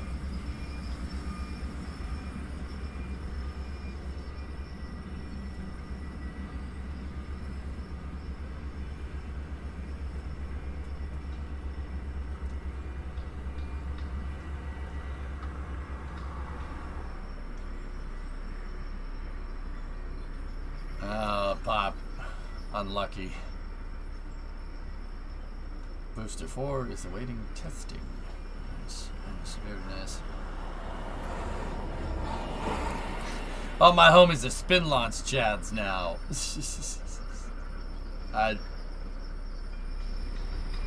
Okay. I mean, SpinLaunch is cool, but I'll take fully reusable super heavy launch vehicle. Thank you. When are they gonna send one of these into space? Who? SpinLaunch or SpaceX, Jim? The program for SpaceX, the programmatic assessment, uh, the comment period, and the evaluation period on the programmatic assessment for the environmental impacts of the PEA uh, should end in on December 31st. It should end at the end of this year. And after that, either A, SpaceX is good to go, or they're not good to go. If they're good to go, I would expect an orbital flight test probably sometime late January, maybe February, perhaps, perhaps. Uh, if not, they're going to have to do what they need to do and go from there. Hey, Wilkin, welcome to Mission Control. Go and throttle up. Thanks, buddy. Appreciate the sub.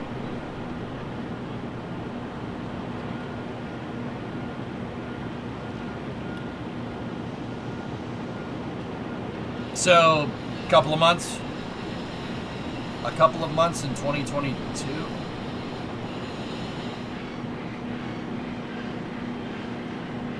I don't like that. Alright. Cool.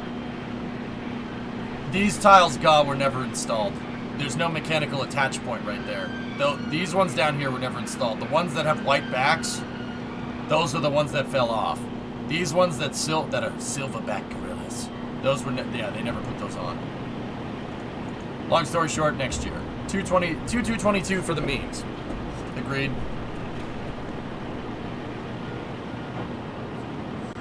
I agree, Grapes. It's what I've been. I, I, I said that since the beginning, dude. SpaceX wouldn't be going forward with all this if they didn't think the PEA was going to pass. Like if it was going to be okay. If their if their environmental assessment wasn't good, they wouldn't have built that. Why? Why would you do that? You build it just to get rid of it? It makes no sense. 2-2-2022 is a Tuesday. Oh boy. Remember when Elon said orbital by July? Yeah. Yeah, that didn't happen.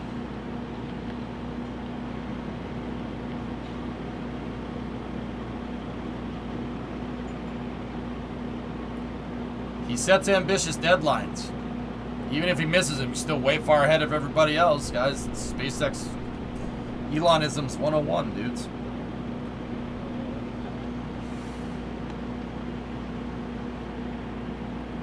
Yeah, I agree, Hibbit. That'd be really good. Nice crane.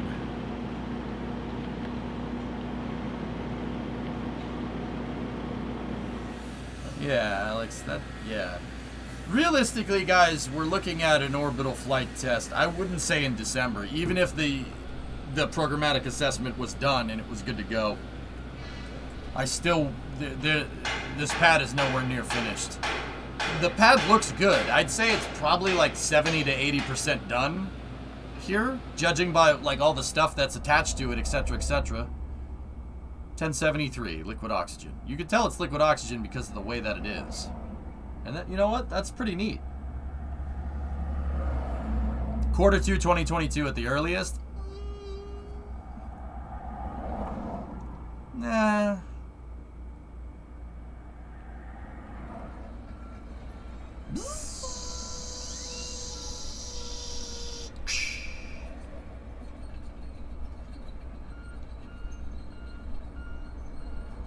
When launch? Yes.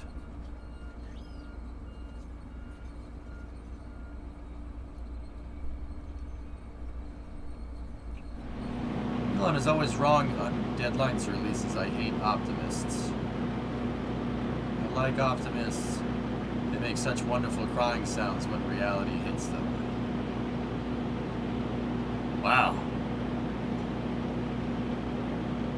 You guys must be real fun at parties.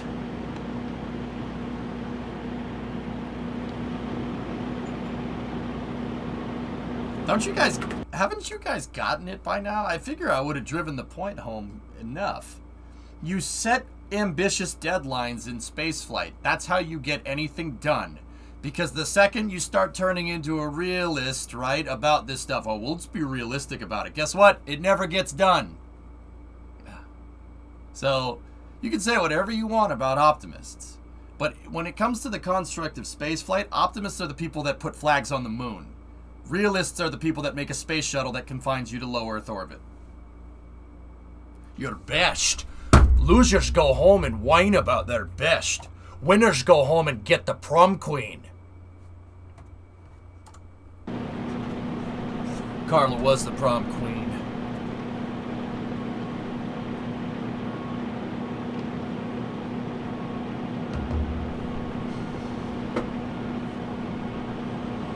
Elon sets these deadlines like this on purpose, guys. Because it's cracking the whip. That's all it is. Welcome to the rock. I hope uh, I, I memorized the timing on the power plant. I hope no one has changed it.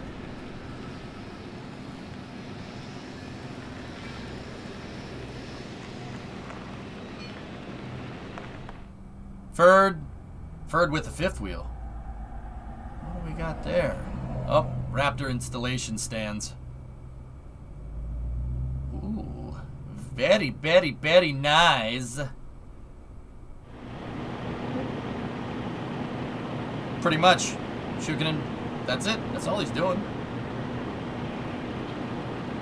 But a best. About best. There's plenty of bankrupt optimists, so I was being ironic. Touche.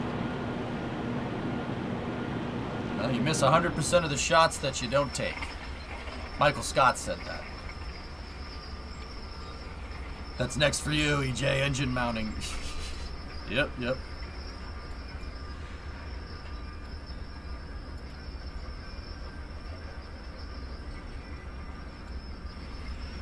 Yeah, would you look at the size of those car jacks? Cool. All right, we got a couple more videos here from NSF. Let's take a look.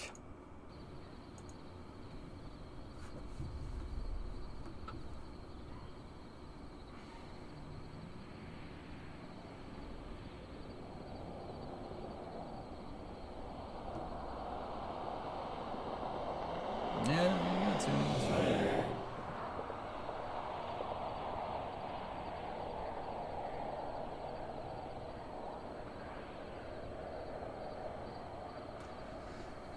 Dude, you just can't have that attitude with this kind of stuff, man. This stuff's complicated. You have to have kind of unrelenting optimism with spaceflight to the point where it's kind of like insanity, man. Or else nothing ever gets done, dude.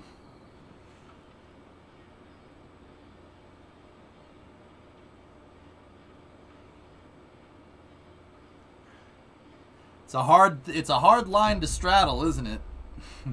I like the way this guy does it to be honest. Right thumb? I know what you mean. Yeah, see this this still this thing still's got a little ways to go, man. It is looking pretty complete though. With that and with that being said, this is the fastest I've ever seen anyone put an orbital launch tower together. And an orbital launch pad for a super heavy lift rocket, right? Wasn't SpaceX supposed to launch that last month? Do you like asking questions after I answer them? Yes, or is it just me?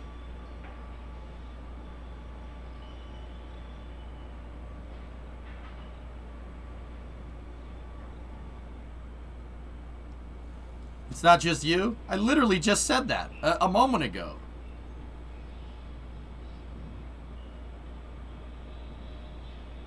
My drummer disagrees with me, yes? I don't think so. There was no tower there six months ago. That's right, man. This is the fastest I've ever seen someone slap together something like this before.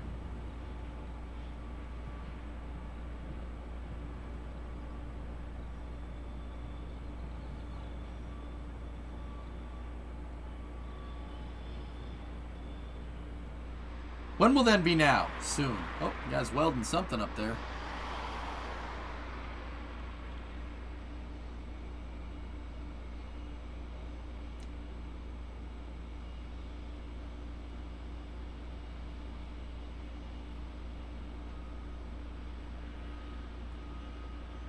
Oh, guys having a smoke up there. We get it, man. You vape. Can you imagine working up there? That's like 150 feet off the ground where the chopsticks are. That's crazy. Thanks for streaming. Hey, no problem, Web. All good. I like getting sassy with chat sometimes. Don't think anything of it, guys. We're just giving each other crap for anybody for anybody that's newer, or at least I at least the, the viewers that I'm giving crap. I hope I hope you know that I'm just messing with you. But seriously though, prom queen. Am I right? Am I right? Am I right? All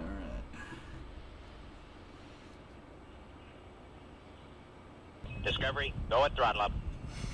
So that's the uh, vehicle stabilization system and quick disconnect arm right there. They just call it the QD for short, from what I understand. Yeah, there you go, AJ. That's true. Hey, Jack, eight month resub.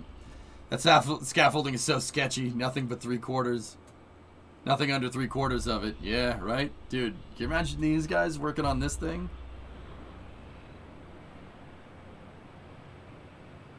Winners go home and communicate with extraterrestrials. Wait, I don't think that's how that quote went, period. I still don't believe they're serious about catching it.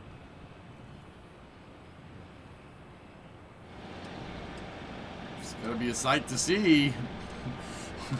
It's either gonna catch it or it's not. And either way, we're all gonna have a lot of fun, right?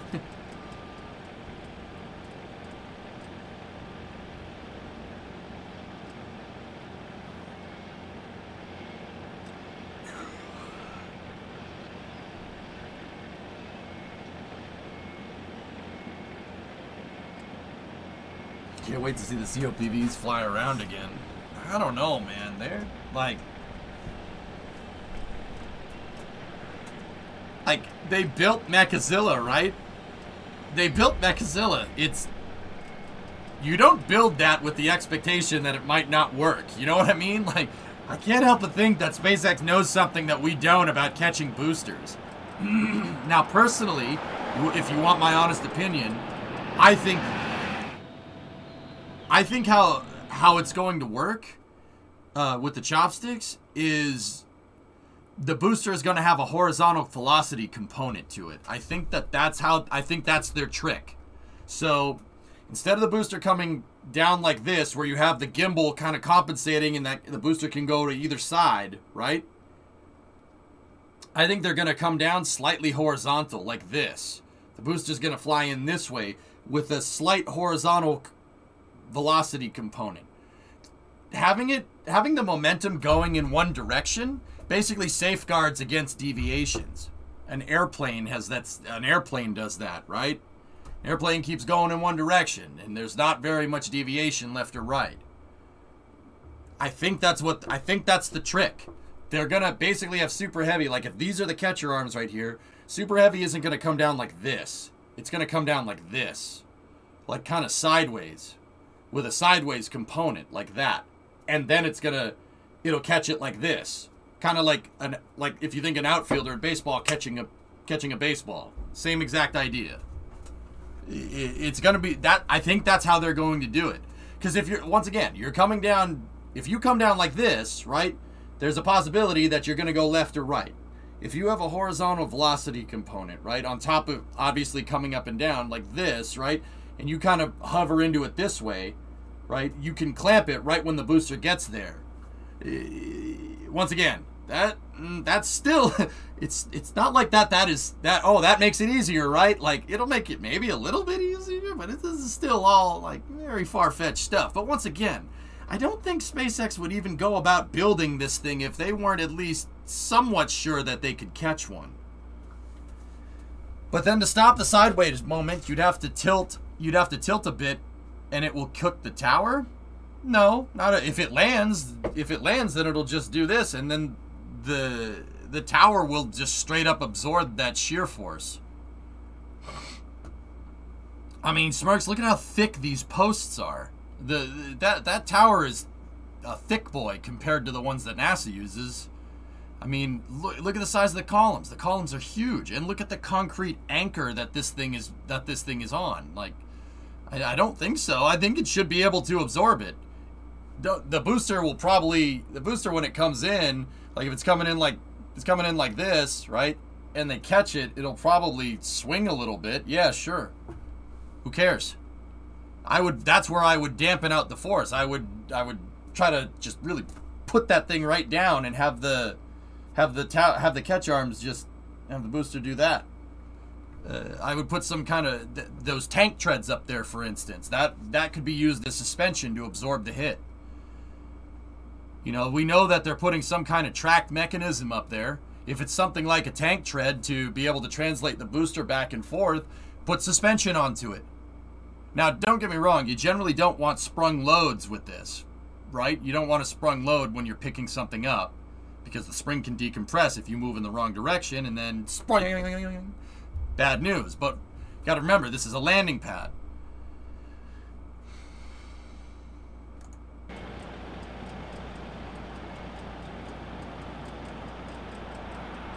Dude, for all we know, there could be like a catapult mechanism, like on an aircraft carrier, that's designed to dampen out the horizontal movement. There's something on there, there's gotta be. Because, dude, they ain't gonna land this thing straight up. It's not gonna go into the catcher arms like that. I would not do that that way. Because if the booster tips the catcher arms, then you're screwed. You're absolutely screwed. But if you're coming in sideways, right, the booster can kind of get into the right position, and then the, these things can come in and chopstick the thing, right?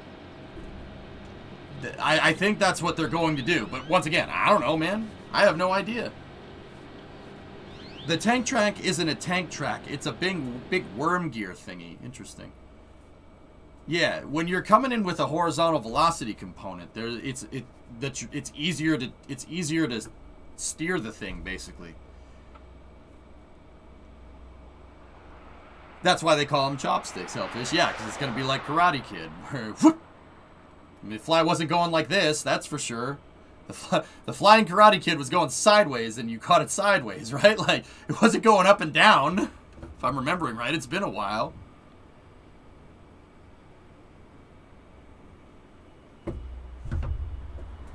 Sile, what's, what's what was your question?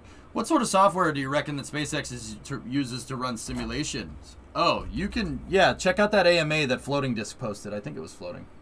Floating, you post that? Sorry, my stream deck. My mouse, the mouse got caught on the stream deck. God damn stream deck. All right, there we go.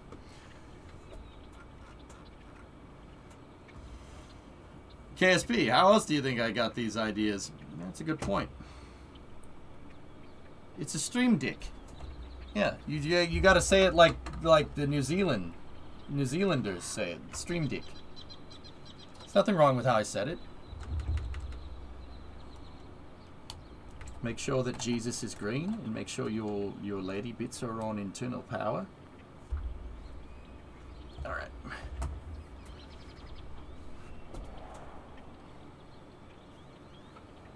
In October 2020, NASA provided 53.2 million to SpaceX to demonstrate the transfer of 10 metric tons of cryo cryogenic propellant between two starships. Yep. With my dick cleaner, I never have to worry about Polish anymore. That's right, mate. Yeah. So, tuning actually. Check this out. Look at this. So, Starship's umbilical. Take a look here. I've noticed some things about Starship's umbilical, guys. Uh, and I first started noticing this stuff from. Uh, I first started noticing this stuff from when I think it was SN SN9 crashed. There was a close-up shot of Starship's umbilical carrier plate.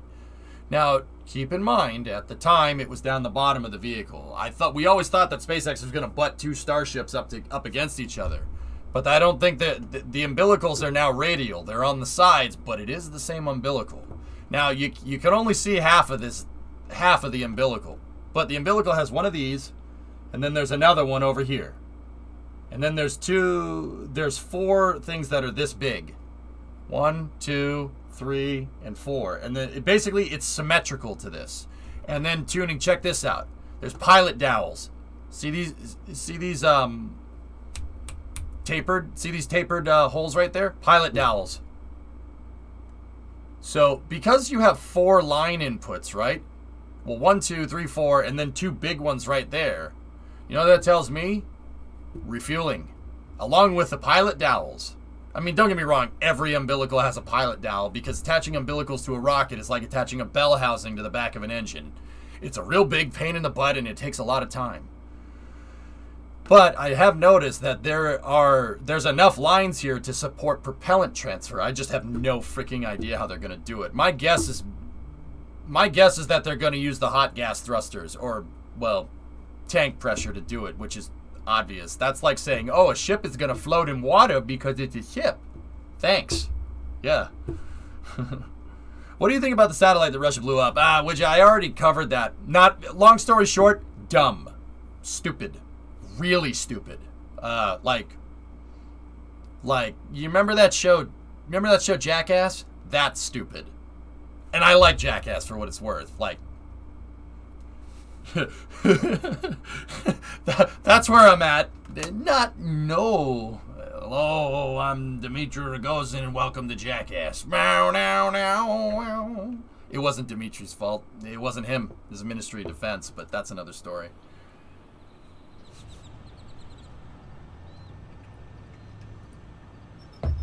So the dream is, say, a three-hour turnaround to fill those tanks via that and launch again. Airplanes, Fuzzilla. So yeah, day-to-day operations for Starship. Day, you know, one mission, you know, one day up, one day down, one day up, one day down, like an airplane. How high is the atmosphere in RSSRO? No idea. Oh yeah, Thomas, I see it. Catch point moves on the worm gear. Thomas, how in the name of Sir Isaac H. Newton are they gonna freaking get that right?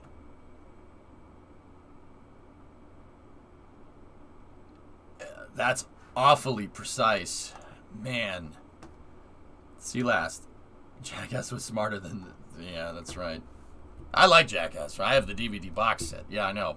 It's because it's 2009. I bought it in 2009. How high is the atmosphere in RSSO? Yeah, I'm not sure.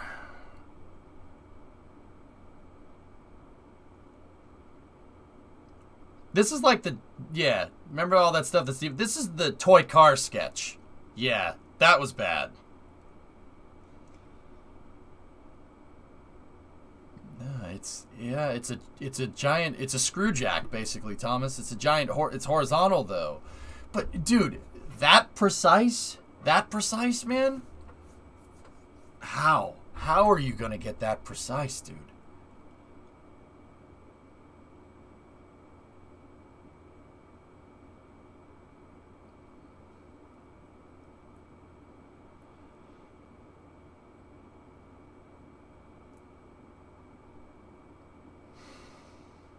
I'm not gonna watch the movie. It's not the original crew, and I'm not watching. I'm not watching any Jackass stuff after uh, Ryan Dunn died. I'm not doing that. Ugh, it's not the same. Falcon 9 lands with high precision. Yeah, Corsi, but with like less less than a foot deviation, that's gonna be tough, dude. It's gonna be tough. The part marked with the arrow can move up and down.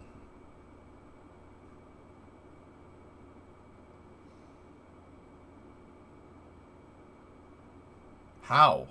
So this thing can go this way, Thomas? Yeah, Neo, I'm with you on that one.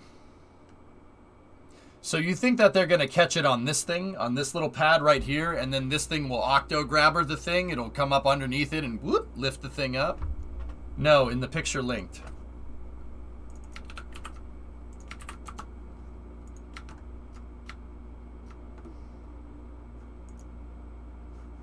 Huh.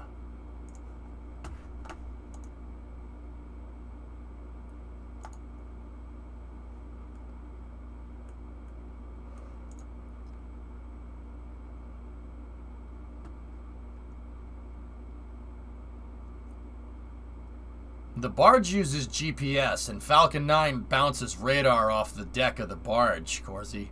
Yeah, it's pretty precise, right? It's pretty damn precise, but yeah.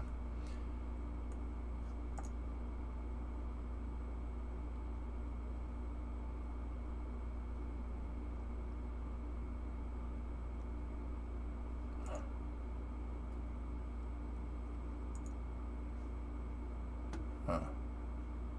Interesting.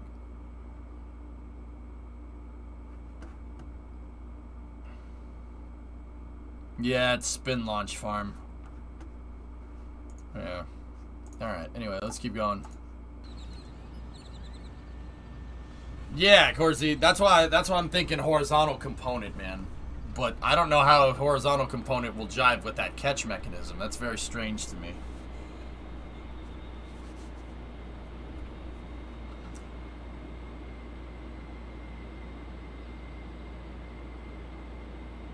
I mean,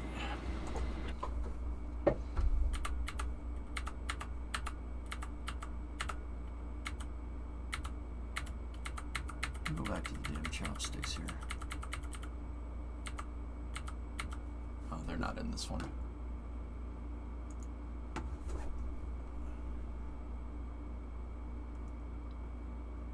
Guess is that the bar moves up for the catch, catches the booster, and lowers it after the gear has moved the translation thing in place to move it to the center of the arms for the bottom points to lock the booster from swaying.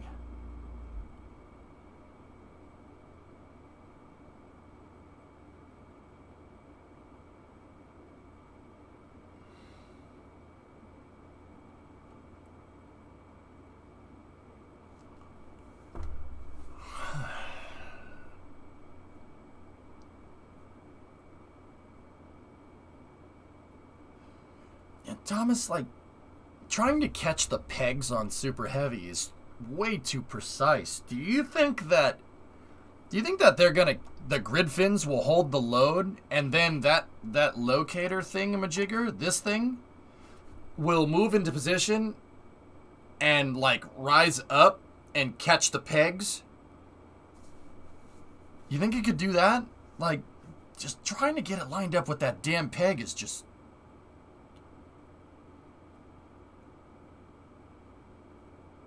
they're, never gonna land right on that thing. There's no way. Like I'd be very surprised. I, I thought that the fins, you catch the thing with the fins. That eliminates a lot of precision, right? You don't need it to be as precise. And then that thing will move into position, right? And it'll move up and it'll attach to the pins, and then they can move the booster. Well, the peg is lower than the grid fins. Yeah, see that, and that because it doesn't make any sense that way. That's very strange. Yeah, I, I'm not. I'm not seeing it, dude. We were over here. There's the new no, new style of nose cone.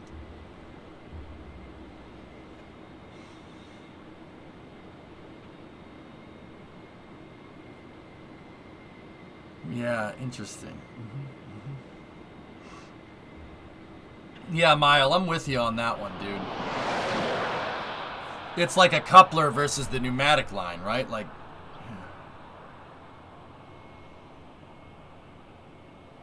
no, I haven't seen anything with that, Alex. Yeah, I haven't seen anything with the up high fins. The tracks can handle rotating the booster. Yeah, I mean, it's that we're not seeing the finished product, guys, so it's hard to see. You know, it's hard to make out what what SpaceX is trying to make there.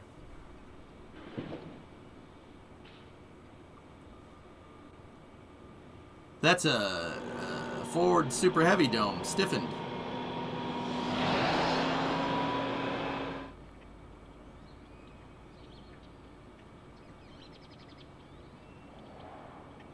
Yeah, Thomas, there you go. Oh, hey, guy.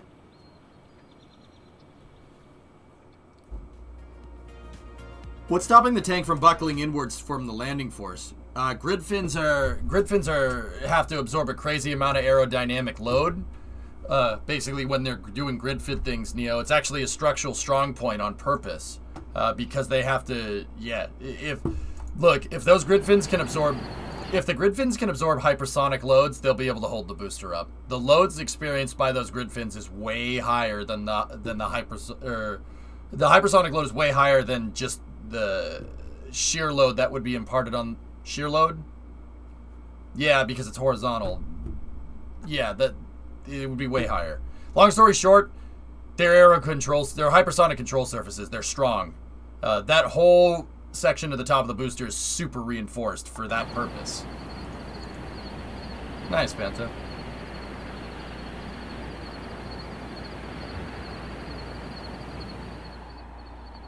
Mile, I'm gonna. I would guess that they catch it with the grid fins, and then they align something to the pegs, and that lifts the booster up so they can move the booster back and forth, right? Trying to land on the movement mechanism doesn't make any sense. You'd ideally want that shielded by something. But I, I, yeah, I don't know, man. It's it's very strange. It's cool to theory craft about it, though, right? You know what's crazy? SN-15 flew. This thing went up to 40,000 feet. That's hard. You know, I understand. I understand what it was doing. I understand its hop. I understand the landing legs. I understand the Raptors, how they work. I I get the aerodynamics behind it. My brain is having trouble rationalizing that that thing flew to 40,000 feet. My brain's having trouble there. like, that thing flew?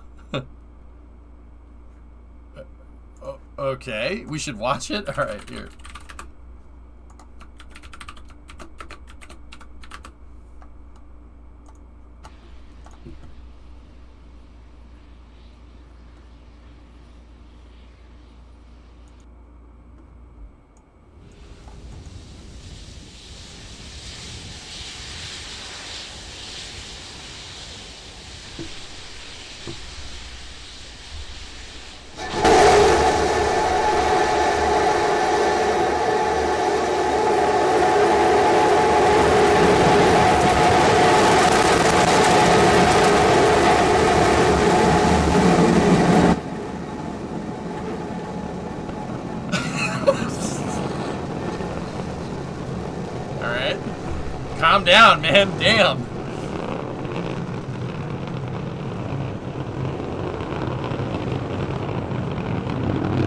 Plus 30 seconds. Starship 15 is airborne as we get a view of the three Raptor engines as we're powering our way to 10 kilometers altitude in today's All test flight.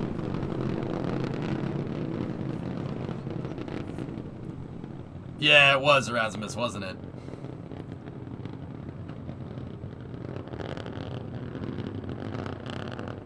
The official highlights has better uninterrupted views. All right, fine.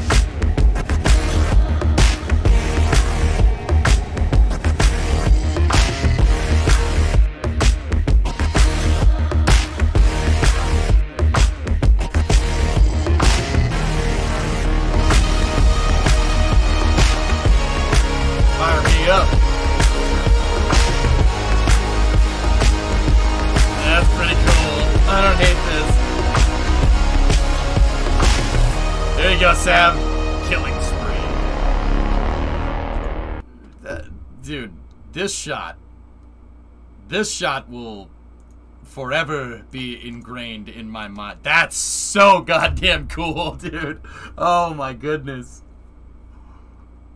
Oh, that's so freaking cool. I freaking love it. Oh my goodness.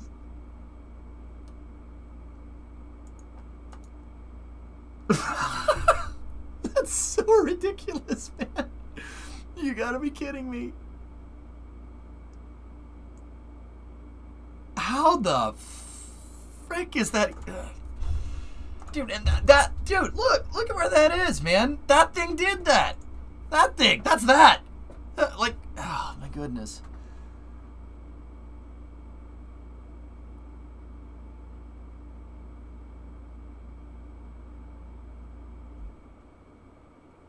Yeah, I know, floating, right?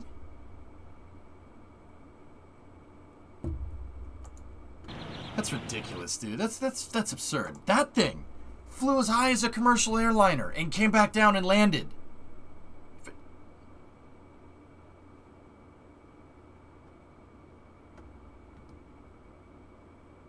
Right, Thomas? Yeah. Yeah, SN8 almost landed on the first try. Like, pfft, all right. Yeah, right, Mile. I can't believe that. I can't. This is a, this is how the space shuttle must have felt.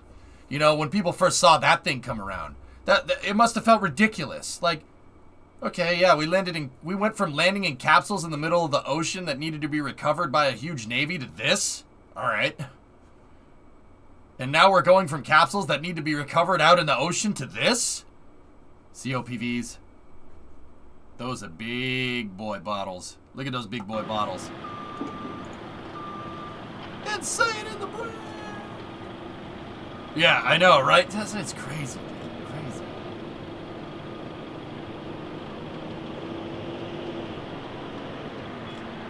You won't. Yeah, right. It's just all right.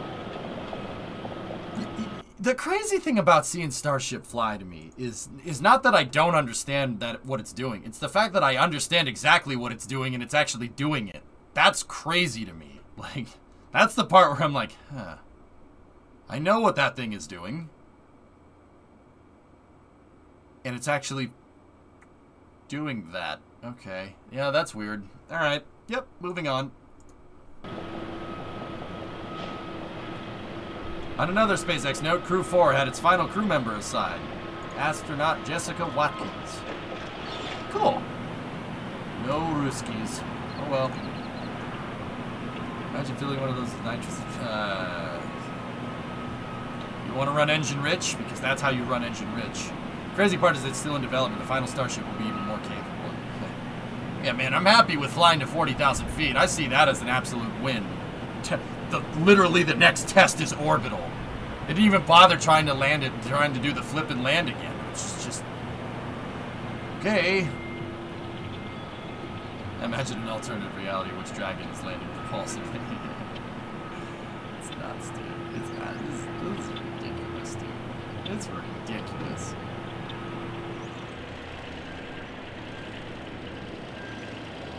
Right? Yeah, it's witchcraft. It's like, you know, Mile, when I was younger, I see helicopters flying around. I didn't question it. You know, like, you- you're just like, okay, it's a helicopter. I see it. The, the, the, the little thing on the top is, it's a propeller and it's pushing the air. I get it. You're like, okay, that's cool, right? And then you realize, then you figure out how a helicopter actually works, and you're like, how is that flying? How is that a thing? how does that not shear itself to pieces? Like, all right. The fact that I, the fact that I, you know, you, I understand, you know, like we figure out how this stuff actually works, makes me appreciate it a lot more. You know, makes me appreciate it a little bit more. It's helicopters. It beats the air into submission. Yeah, right. It's unbelievable. Oh, that's cool. That looks cool. Learns how it actually works. No. Why?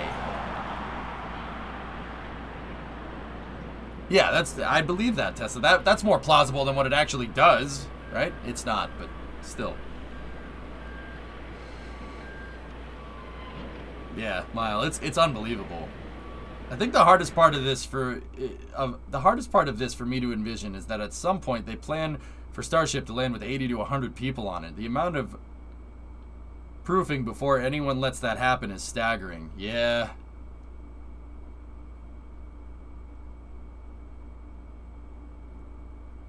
It'd be cool if they turned SN16 into a wet workshop prototype, like once you land on Mars. Yeah, I would use it for something. I mean, you built it. You might as well get some money out of it. That will be an amazing ride.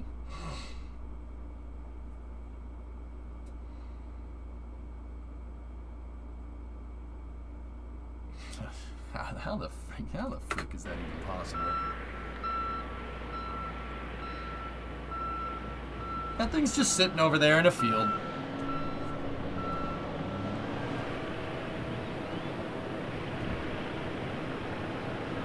No, they never did a test for it, Moto. They had the thing ready to go, and they had it ready to go, and SpaceX opted to not do the test. They never installed the engines, and they put it out in a field next to SN15. I think the design changed too much by that point. That's why I think they didn't do any more tests. That's why 16 was built and then never flown, and why 17, 18, 19 were they started to make them, and then they said, nah, screw that. 20 is the new hotness, and that's the design they've been working with from there. All subsequent designs, 21 and 22, are based off of 20. They probably, dude, they, I bet you the internals look nothing like 15 and 16. And In fact, we know that the plumbing is a little bit different. We've seen that already. 15 and 16 should be made into Gate Guardians. Hell yeah. Hell yeah, I'm not going to say no. You're going real quick, man.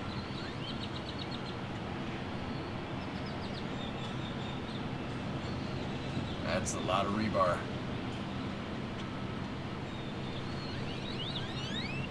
I bet you I bet you ship 23 skip since it's the end of the 20 series before the upgrades on 24. What the what the frick? What the frick, Ian? What the frick, dude? Yeah, I don't know, Moto. 24, 25, something like that. You guys like stairs? We got stairs. Also, damn, right? Ian, I have a feeling. It could just be me. I have a feeling that if the FAA opens the floodgates here, that, you know, the orbital flight test is going to happen, right? It's going to happen. But I have a feeling a second one might happen a lot quicker than we think. Just judging by what I see around Boca. I mean, this isn't something that anybody didn't know, right? Like, they're already working on Booster 5. We've seen parts from 21, 22, 23, and parts of 24. We've seen parts of Booster 6. Like, only five flights in a year, though?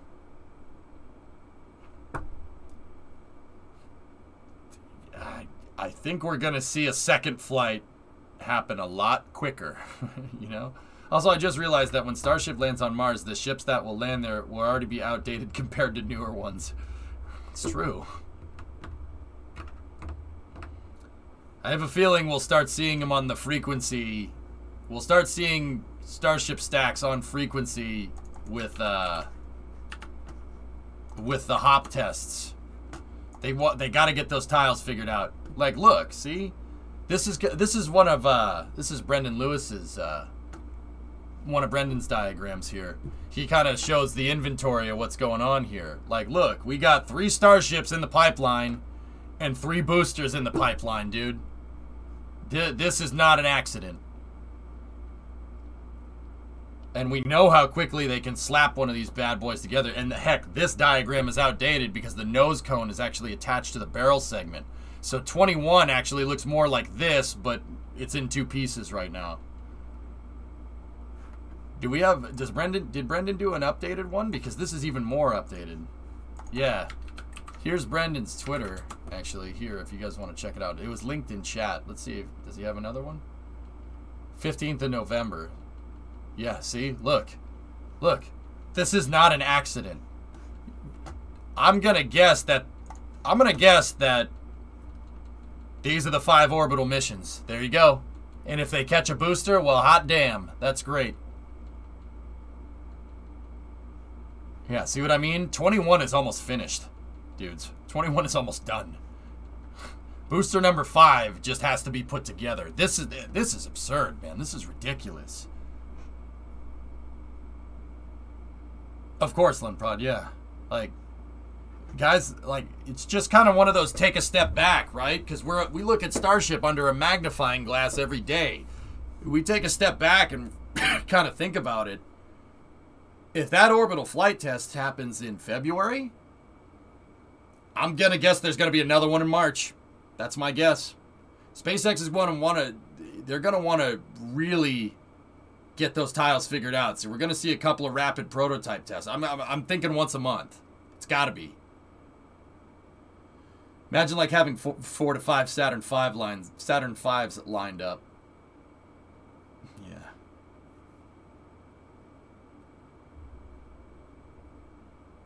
If only five a year from Boca, they may make the oil rigs as fast. Now, Thomas, in the programmatic assessment, does that mean yeah, it's five orbital flights, but that that puts no limit on testing, correct?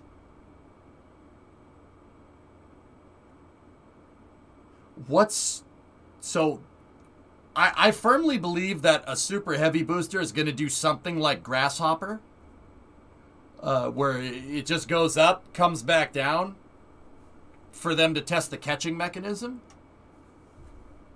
Testing had a limit of 10 or 20. See what I mean? We might, guys, we might even see hops, super heavy hops, interspersed with orbital flights. Oh my goodness. 2022 is going to be insane. Oh, Smirks, I remember that. Oh, the yeah, 5 plus 5 is 10.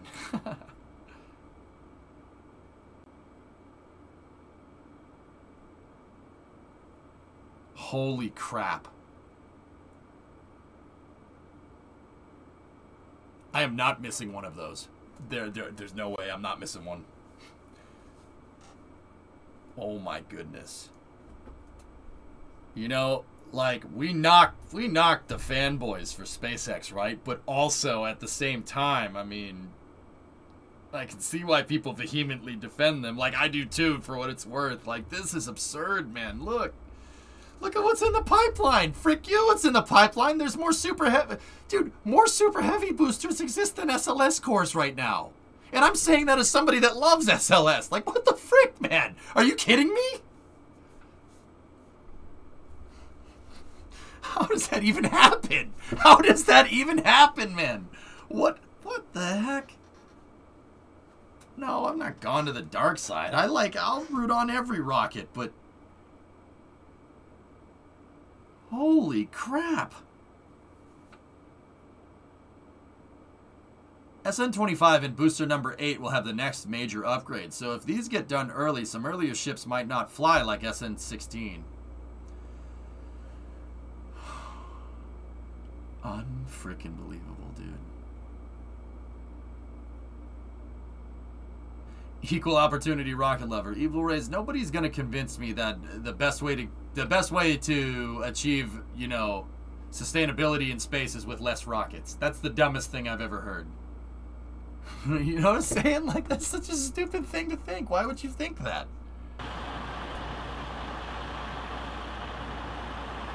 Right? Like What a dumb thing to say. right? Better have some in reserve when one is hit by Russian satellite debris. Savage.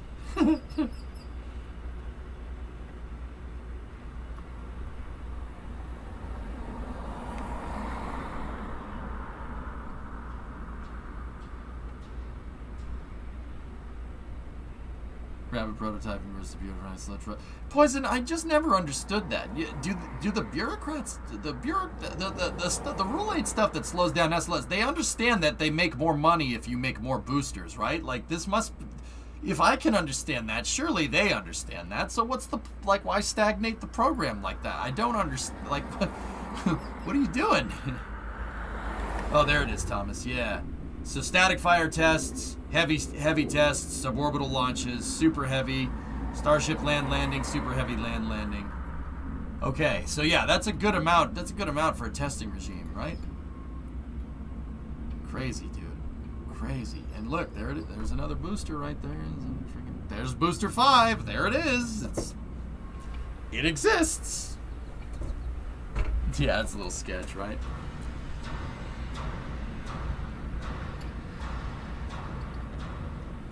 Yeah, right, Poison? I just don't understand, man. Like, what, like, you, you want the spice to flow. That you make more money that way. That's why uh, mass mass produce SLS, please. We should see SLS cores rolling out like this, dude. A transport stand was already readied at the high bay for Booster 5. What the Not a space question, but do you know if and where I might be able to watch 24-hour Sebring race this weekend? Your sister is pit crew for one of the cars. No way, Shy. I, am not sure. I'm sure. I'm sure somebody here will have a link somewhere. Check the racing. Uh, check the racing section in Discord. I'm sure somebody will find something for you in there. What are those ducts on Booster 5 there? I think those are the vent line smirks. I think. That's the, the, the tank depress. I think they covered them up, but I could be wrong.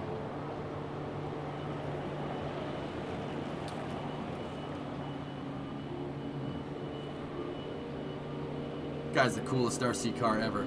Poison, self-propelled self-propelled modular transporters are something that I want, but I don't really have a use for. You know what I mean? It. I want one of these, but I don't really have a need for one. But it is really freaking cool. Leave the rocket. Take the Fagioli.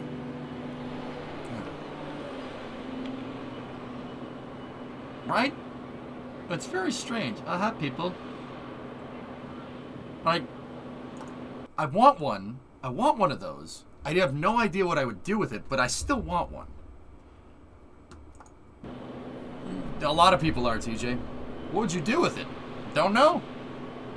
I don't think you can drive it on the road. I don't think it's a road going vehicle. It doesn't, I mean, it doesn't have like lights on it or brake lights or whatever. But that doesn't mean it couldn't be retrofitted. Right? Like, look at, look at that thing. That thing is so cool. Yeah, right? Build a house on it, right? Like, what, the, what, am I, what am I going to do with that? Don't know. I don't know. Look at that thing.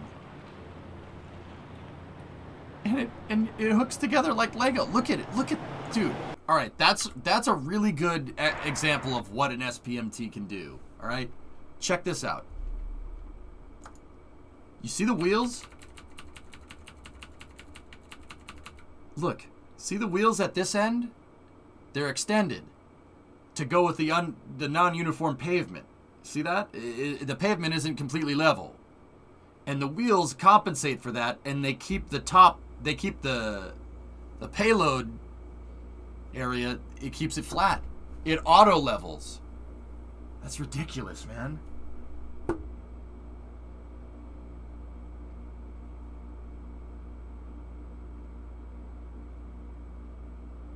That that's what SPMTs do. It's it's self-leveling.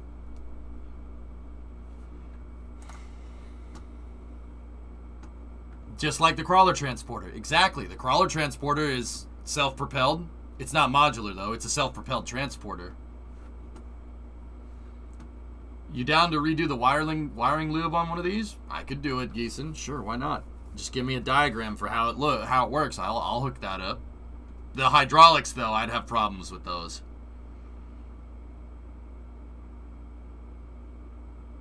Yeah, look at that. Toyota, CRB, Bird.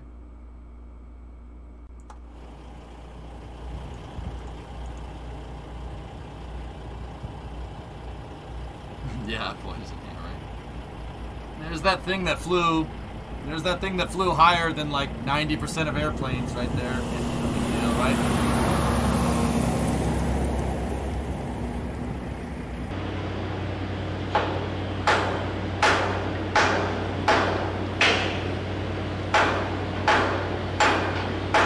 It's percussive maintenance, don't worry about it.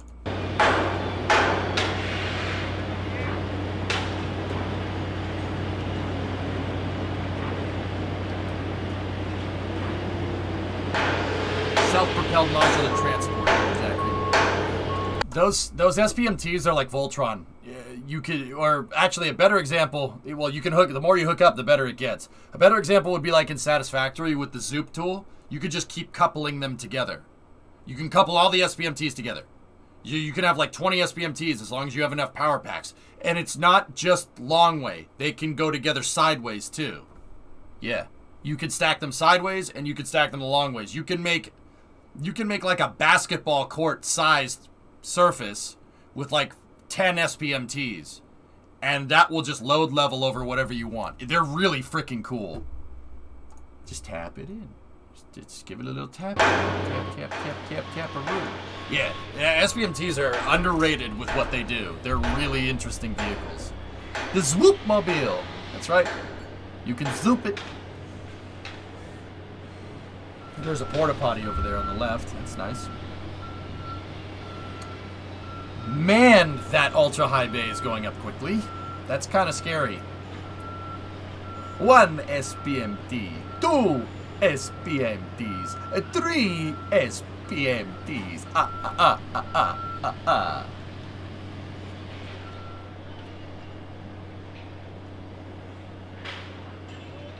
There's the porta potty over there on the left again. I don't know why they park a porta potty right in the middle of the thing. It's weird. Oh, I'm sorry. That's a Chevy. Sorry, my bad.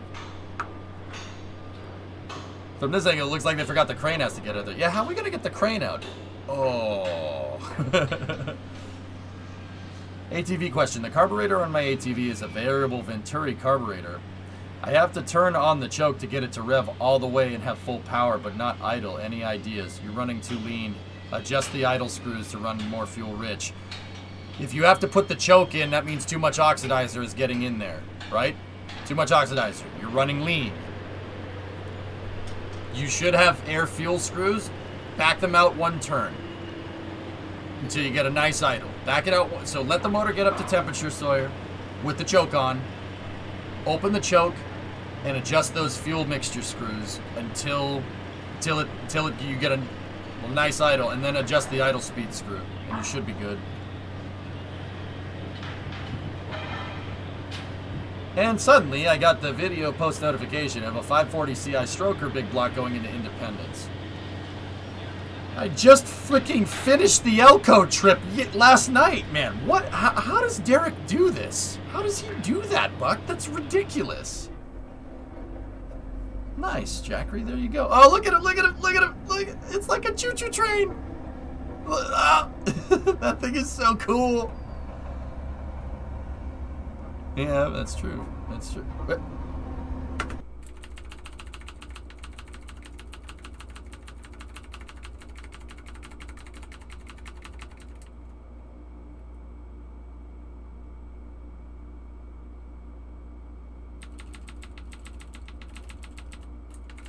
Hmm.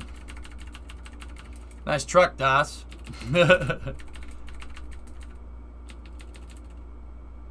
no, look look on the left, guys. See the white truck? That truck doesn't say SpaceX on it, that's for sure. Not the real NASA. I talked about it already, B Money. I don't want to talk about it anymore, man. Those are the those are ties for the crane, guys. Also NSF truck.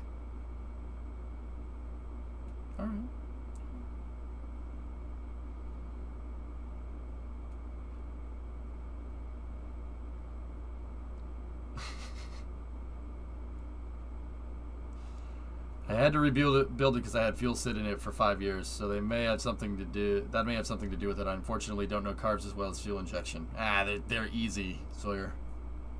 Uh, Carburetors are way simpler than fuel injection. It just looks complicated. Oh man, what I'd do to be an NSF photographer. That'd be pretty. That'd be pretty sick, s right? Like, man.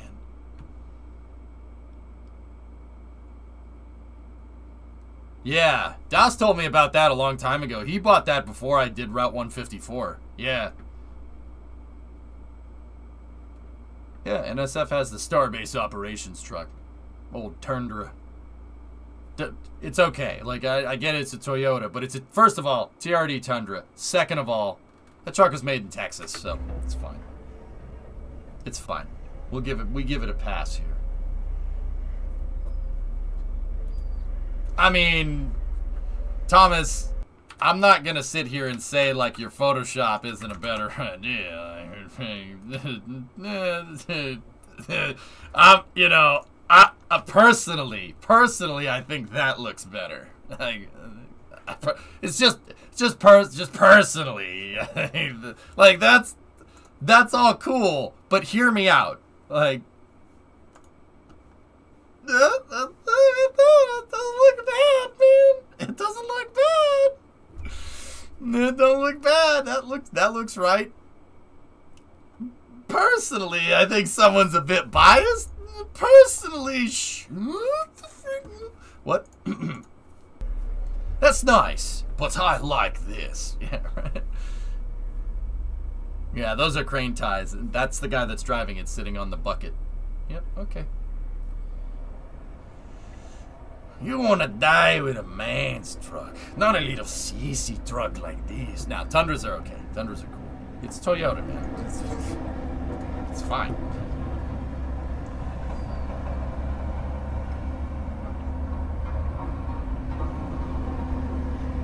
Take that, put Tesla motors in it, and put it on Starship and Moonbase idea. Um, why no Hilux though? They don't sell the Hilux in the U.S., Altio. We don't have the Hilux. We have the Tacoma, which is the closest thing. Which is kind of a Hilux, but it's kind of not. And then we have the Tundra. We have a full-size Toyota truck, which is cool. That's cool. You guys don't have that. Yeah, they don't sell the Hilux in the U.S. They haven't sold the Hilux in the U.S. since the 80s. But like I said, we got a big, big honking... That, that's a full-size truck. That's a it's a Toyota half ton. They don't sell half tons anywhere else in the world. That's that's cool. That's a cool truck. I don't. Well, at least I don't. They, they probably do. They, there's no way they just sell Tundras in the U.S. I mean, obviously Canada and Mexico, right? But Eric, you could place a whole trailer park on it, then you'd be able to move us under a. Yeah, right. yeah, yeah. Hilux is used for like 75% of the work trucks in Norway. If only you guys had one of these. I'm telling you, you had one of these, you'd be like, Hilux? Alright. Yeah, that that's a big Toyota, guys. This is like bigger than a Land Cruiser. Like way bigger than a Land Cruiser.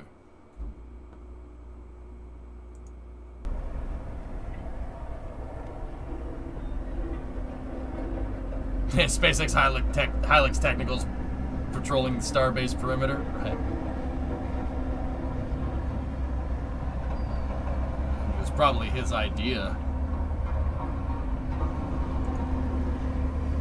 Ooh.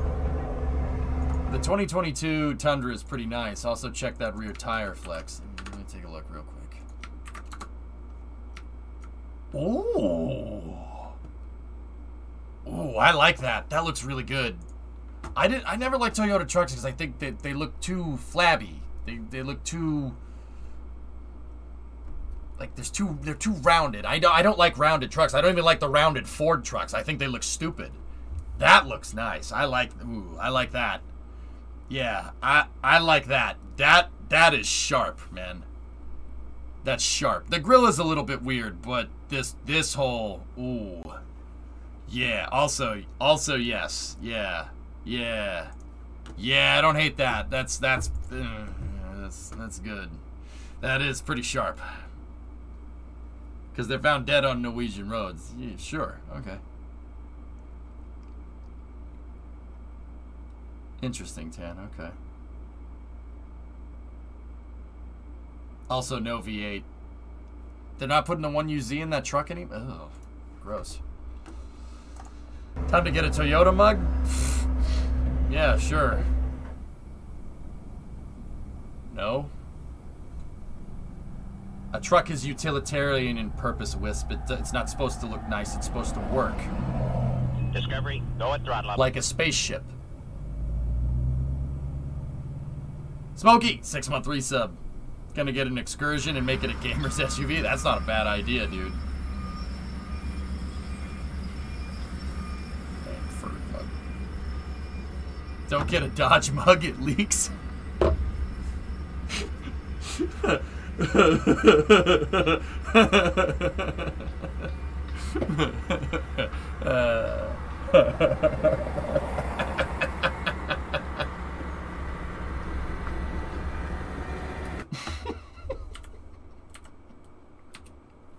Hey, fellas. So, we're talking about trucks, right? Look at the truck right there. It- it- now, I don't know what it is. I don't. I think it's a Chevy. I don't care. It doesn't matter. But look at look at the truck, and then look at this, and look at the guy up there on the, up up there. The,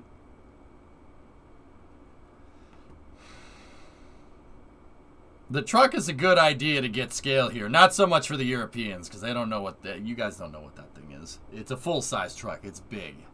So like full size transit van. That that's a good drive home the scale picture. Look at that thing.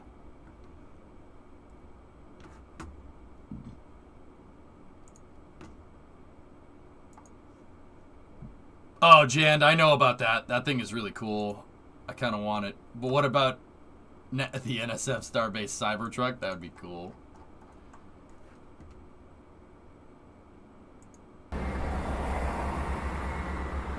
Stupid American trucks here take up more than one parking spot and they're too long. Yeah, but see, the drummer, the people that drive around those trucks in England, they don't care what you think. Yeah, it's very American thing. It takes up too many spots. So? So what? Make bigger spaces then. You don't like it? Turn off your station. I'm gonna talk to you the way I want to talk to you. You don't like it? Turn off your station. All right, have a nice fight, Mike. Piss off.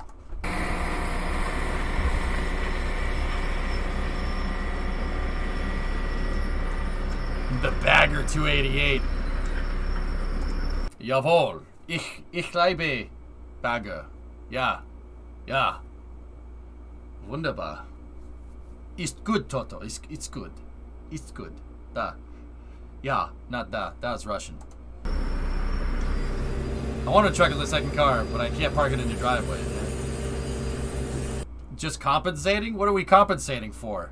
You not being able to make a big car?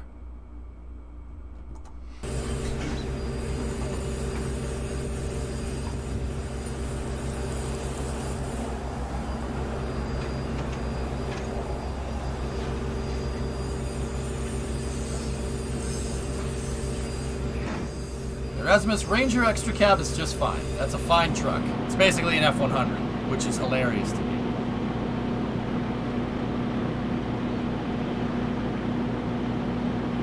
Why you gotta make fun of their tiny roads like that? It's not their fault. It's kind of funny.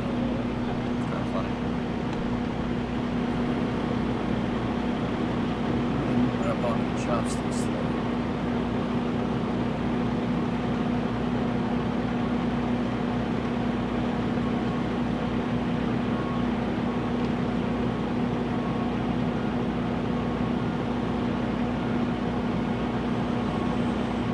Yeah, Nighthound. I, I did it at the beginning of Space News.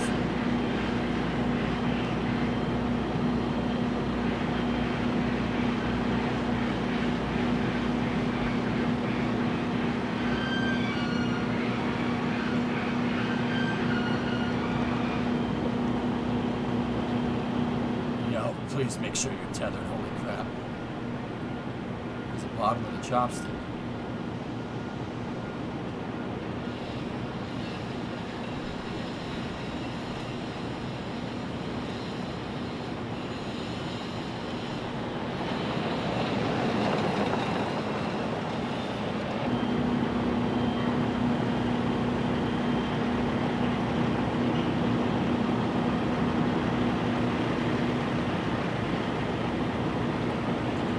Roads and we care about the planet with our cars not using tons of oil. Oh, yeah. Oh, that's the reason. Oh, okay. Sure.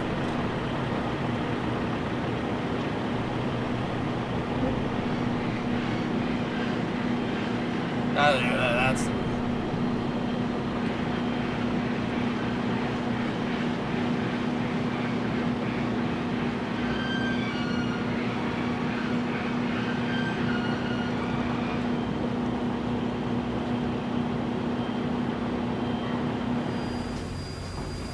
Yeah, looks like looks like they got most of the pulley installed there. You see that?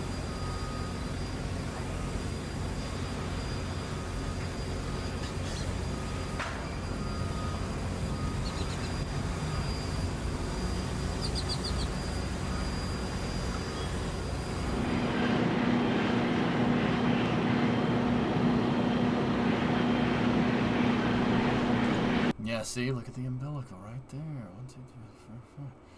See the pilot dowels right there? That umbilical on Super Heavy looks a little bit different than the one on Starship, though.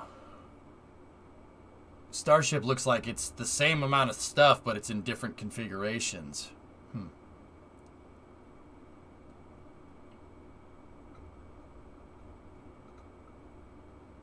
It kind of is your fault, Tomas.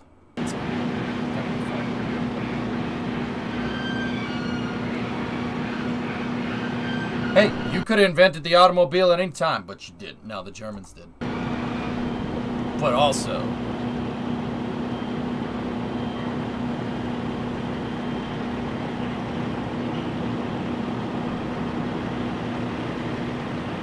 Look at, dude, look at all that plumbing back there. Man, that's cool. Look at the flex hose. The flex hose for the fuel lines because this, this thing is designed to it, it's designed to kind of like pivot back. So it's it's designed to be over here like this and then it pivots back. Look at the dang flex hose, man. That's cool. That's really cool.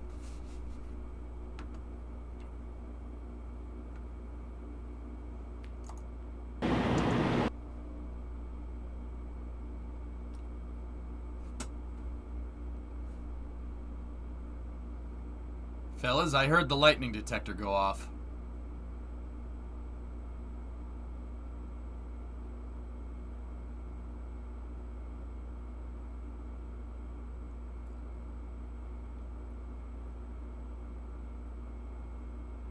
Oh yeah, those things, Hellfish? Yeah, of course. I heard the lightning detector go off. Huh.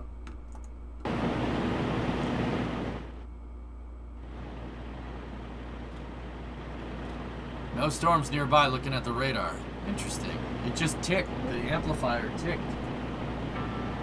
It did that. Only a little bit quieter.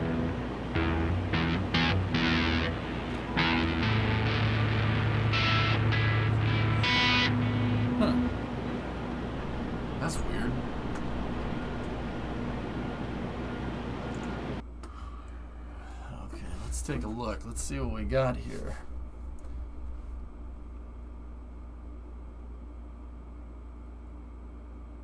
The, the windings, the, the magnetic coils in the guitar can pick up lightning. It picks up the EMF from a lightning strike at close range. You hear it, and it sounds like a in the in the stream. Yeah, see the valves? Those are valves right there. Electro actuated valves. One, two, three, and four. I think. I'm pretty sure. This is some kind of pneumatic system, but I'm not sure what that's what that's about.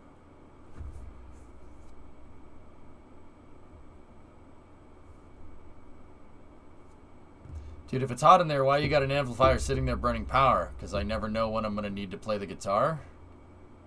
I can shut it off if that makes you feel better.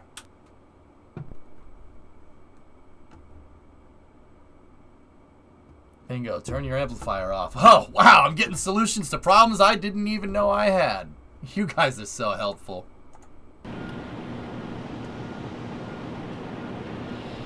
You know what? I'm turning it back on. Screw you, chat.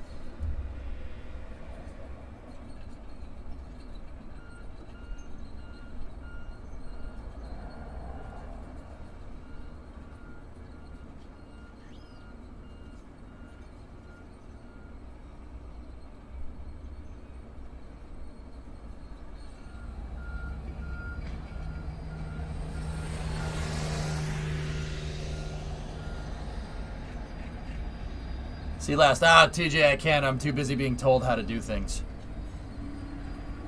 Yeah, see the guy's putting the guy's putting the lattice down on the dirt berms there.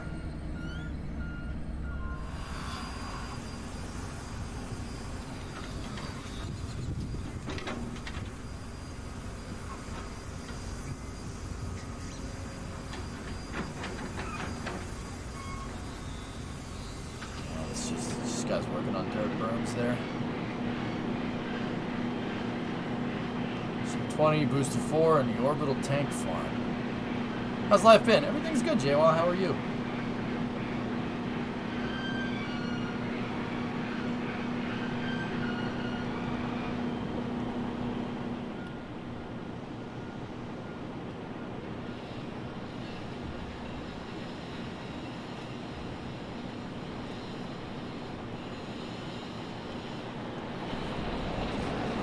That's awesome. Very cool. That's dude, that's double neck. Those double neck guitars is cool. I've, I've always wanted to buy one, but I have no use for it, and they're super expensive.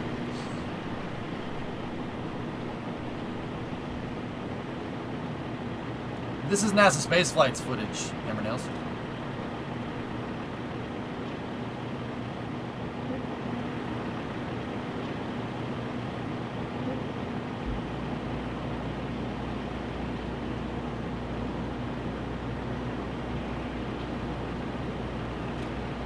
We actually had them custom built. That's cool, man.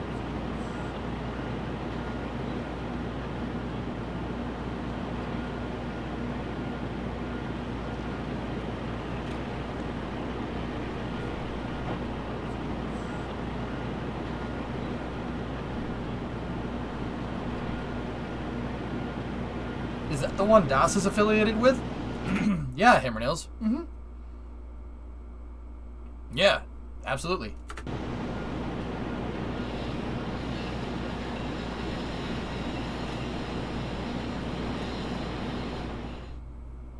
Oh, dude, look. This was yesterday. Take a look.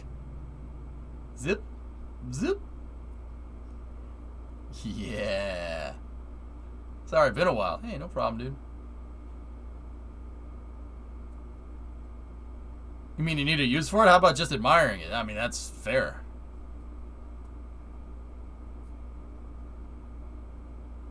Little truck is protected by parent trucks.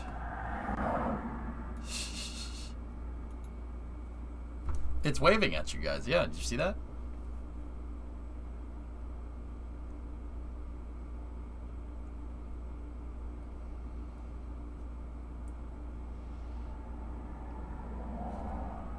Hi, HVAC Dragon. The yellow hoses on top of the GSE, it's HVAC. They're maintaining positive pressure in there. They're pumping air into the the area between the the cryo shell and the tank inside of it. Keep air circulating over it. So it's called positive pressure. Piggly wiggly cars. Cars.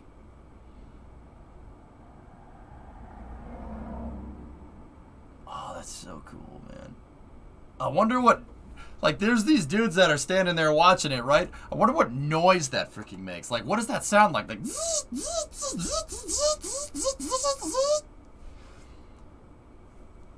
Like for some reason my brain is associating this with like a pneumatic noise, like you know? like But it sounds like a Tesla, so nothing.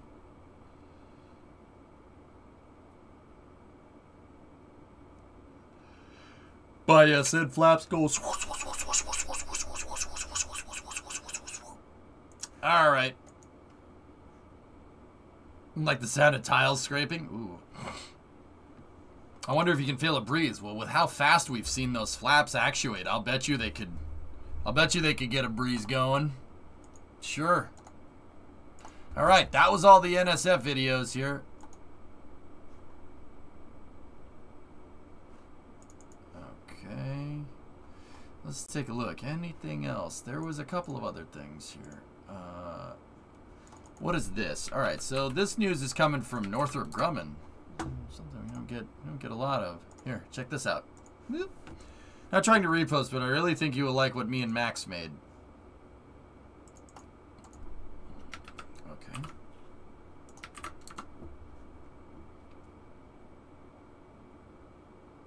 Who wants more space art? How about a collaboration piece between me and Max? Okay, the SLS rocket rolls out from High Bay 3 of Hey, yeah. Not bad. Not bad at all. That's pretty cool, man.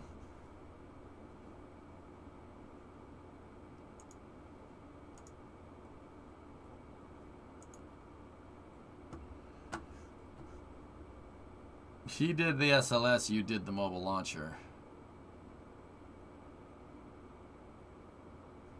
Soon. Soon.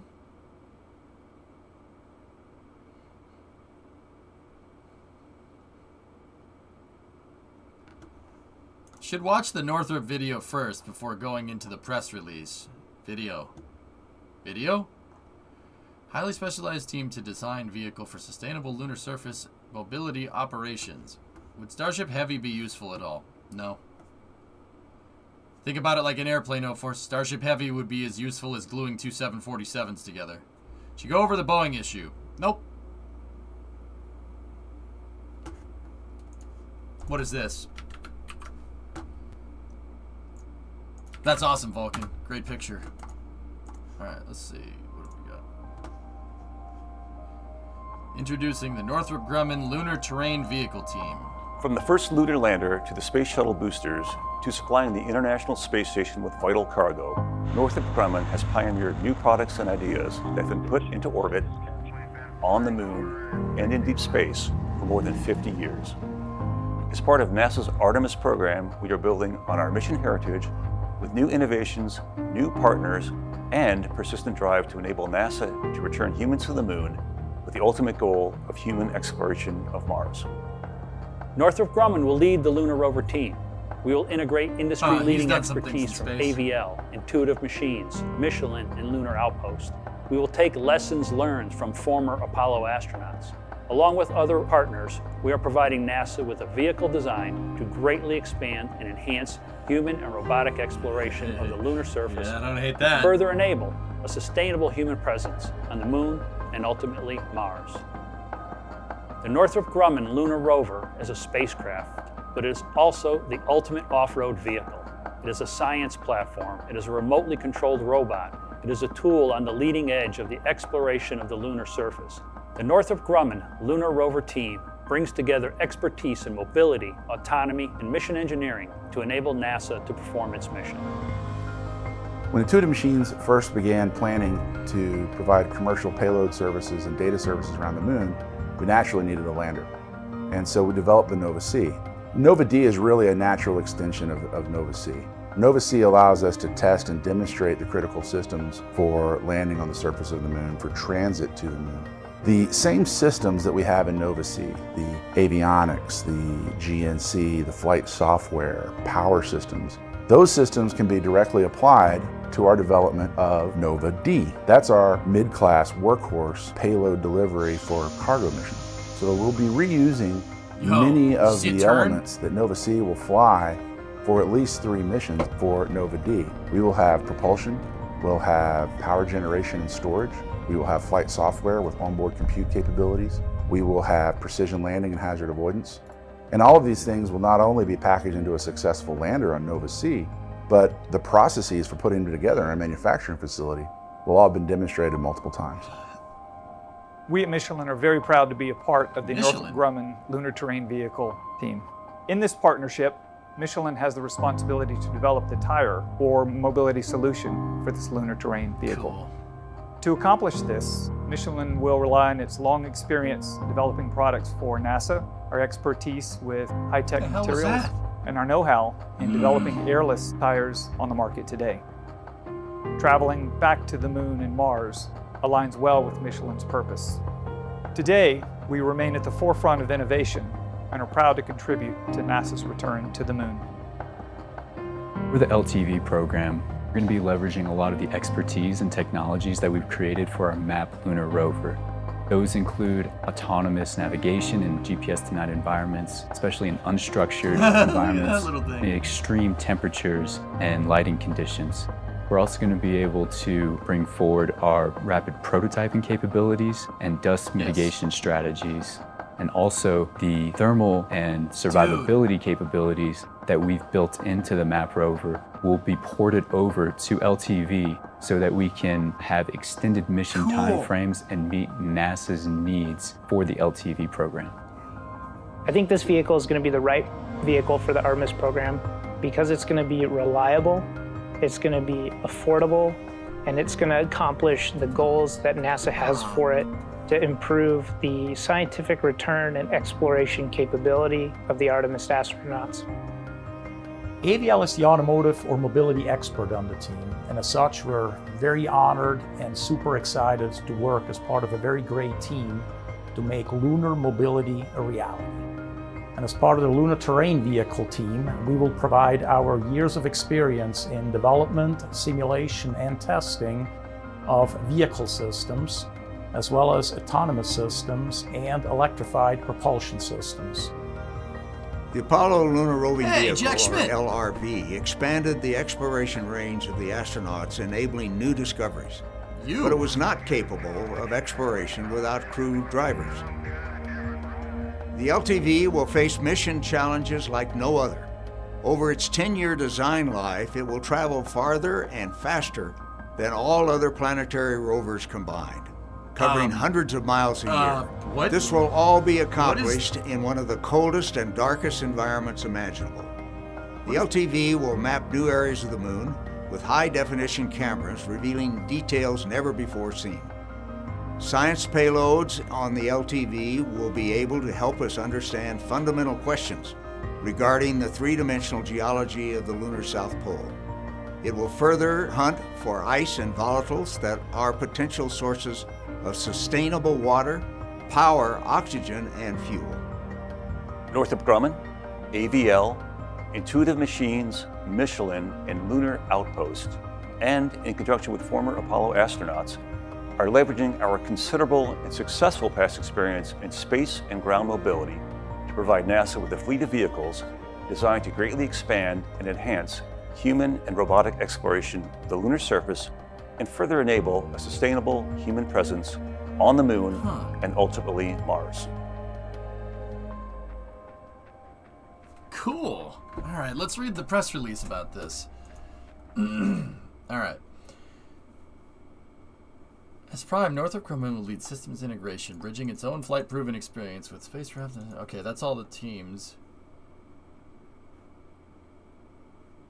Northrop Grumman engaged Apollo astronauts Jack Schmitt and Charlie Duke to incorporate their hands-on experiences into the design for the LTV, allowing the team to optimize the vehicle for the needs of NASA researchers and Artemis astronauts. Interesting.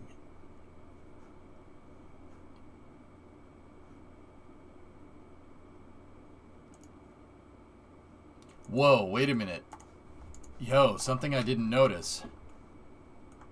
Uh, uh um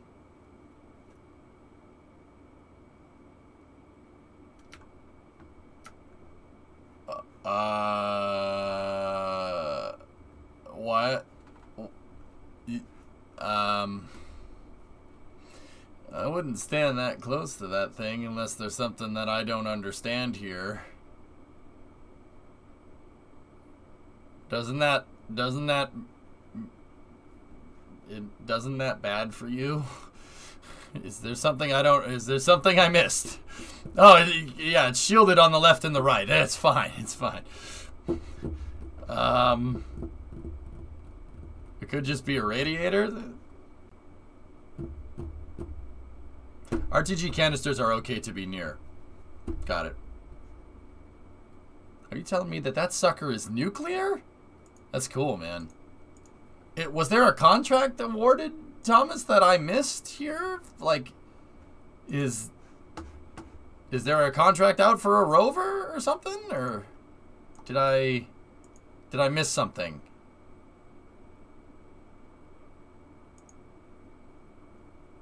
Like, I don't. Discovery, go at throttle up. This is their proposal. GM has theirs. Oh, okay.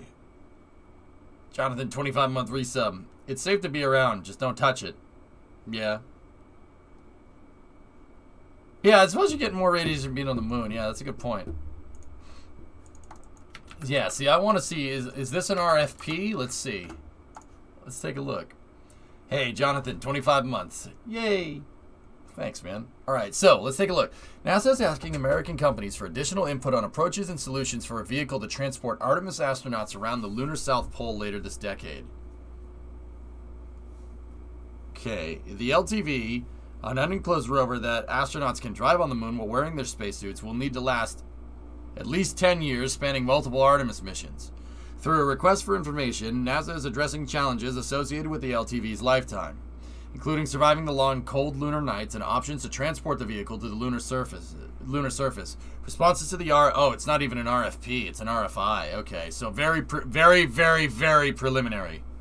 Uh, so no contracts awarded, guys. Basically, NASA saying if you were going to make a lunar rover that could last 10 years, how would you how would you go about doing it? That's all.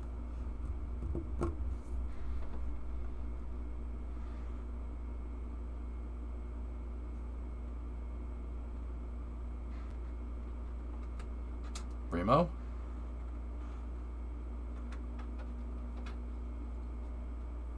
Remo! Hi. What are you doing? I'm just coming in to say hi. Oh, I was wondering. I was like, I'm hearing the floor creak behind me. I'm like, what's going on? How are you? I'm good. How's your chat? Chat's fine. Yeah, chat's good. That's good. I'm glad for chat. How's space? Uh, cold. Yeah. Yeah, it's fine. It's not really cold, but What did the Russians do? Why? What didn't you want to talk about yesterday? they did a dumb. Oh. They did a dumb. Never do a dumb chat. Yeah, they. My analogy that I used to explain it to people was like running an extension cord through a swimming pool and saying that nothing bad will happen ever. Yeah, it'll probably work, you know, but it's in a swimming pool. It's probably not a, probably not a smart thing to do. Yeah, it's not something I would recommend. Yeah, yeah, that's basically that's basically it. It's nothing that's incredibly too bad right now, but also that could be a real problem down the road. Hey Badger, what's going on? We never got the nuclear car, but Moon gets nuclear cars. Yeah, hey, that's all right. Easier said than done. Ruski did a dumb in Leo. Aw. What's up, baby? Nothing. Do you need hugs? I do. Ow. Don't hurt yourself, you silly. Don't jump down the Fallout 4 rabbit hole again. Nah, I'm good. Can I get a stand up hug? Is that a problem? Well, I think that was all the space news, guys. Or are you just saying that because you want to give me a hug? The hell kind of loaded question is that?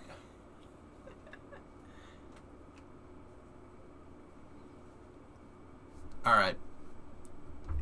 Uh, all right, guys. That's pretty much the end of space news anyway. I think we got all of it. That's cool what's going on with the lunar rover. Russia still did it dumb. Um, I think the last thing here is this bit of news. Check this out. So the the Prichal, the uh, the utility module, the next module being launched up to the ISS, was encapsulated today in in, uh, in preparation for its launch, which is in I think a week. So there it is inside of the Soyuz fairing. It's a, a utility module with a service module from a Progress attached to the back, which is cool. That is cool. Yeah, they just use the service module from the capsules to launch the modules up into space. All right. Anyway, guys, Brimo needs a hug. So I'm going to start up KSP, uh, I think. Um, and yeah, we'll we'll go from there. What is this hellfish? Oh, I, first of all, that American military is ad blocked, and I don't don't care about that. Second of all, Brimo needs a hug, so we'll uh we'll get to it. All right, I will be back momentarily, and we will fire up KSP while we're waiting. Here, let me do this. Let me do this. Hashtag win hug. Let me do this.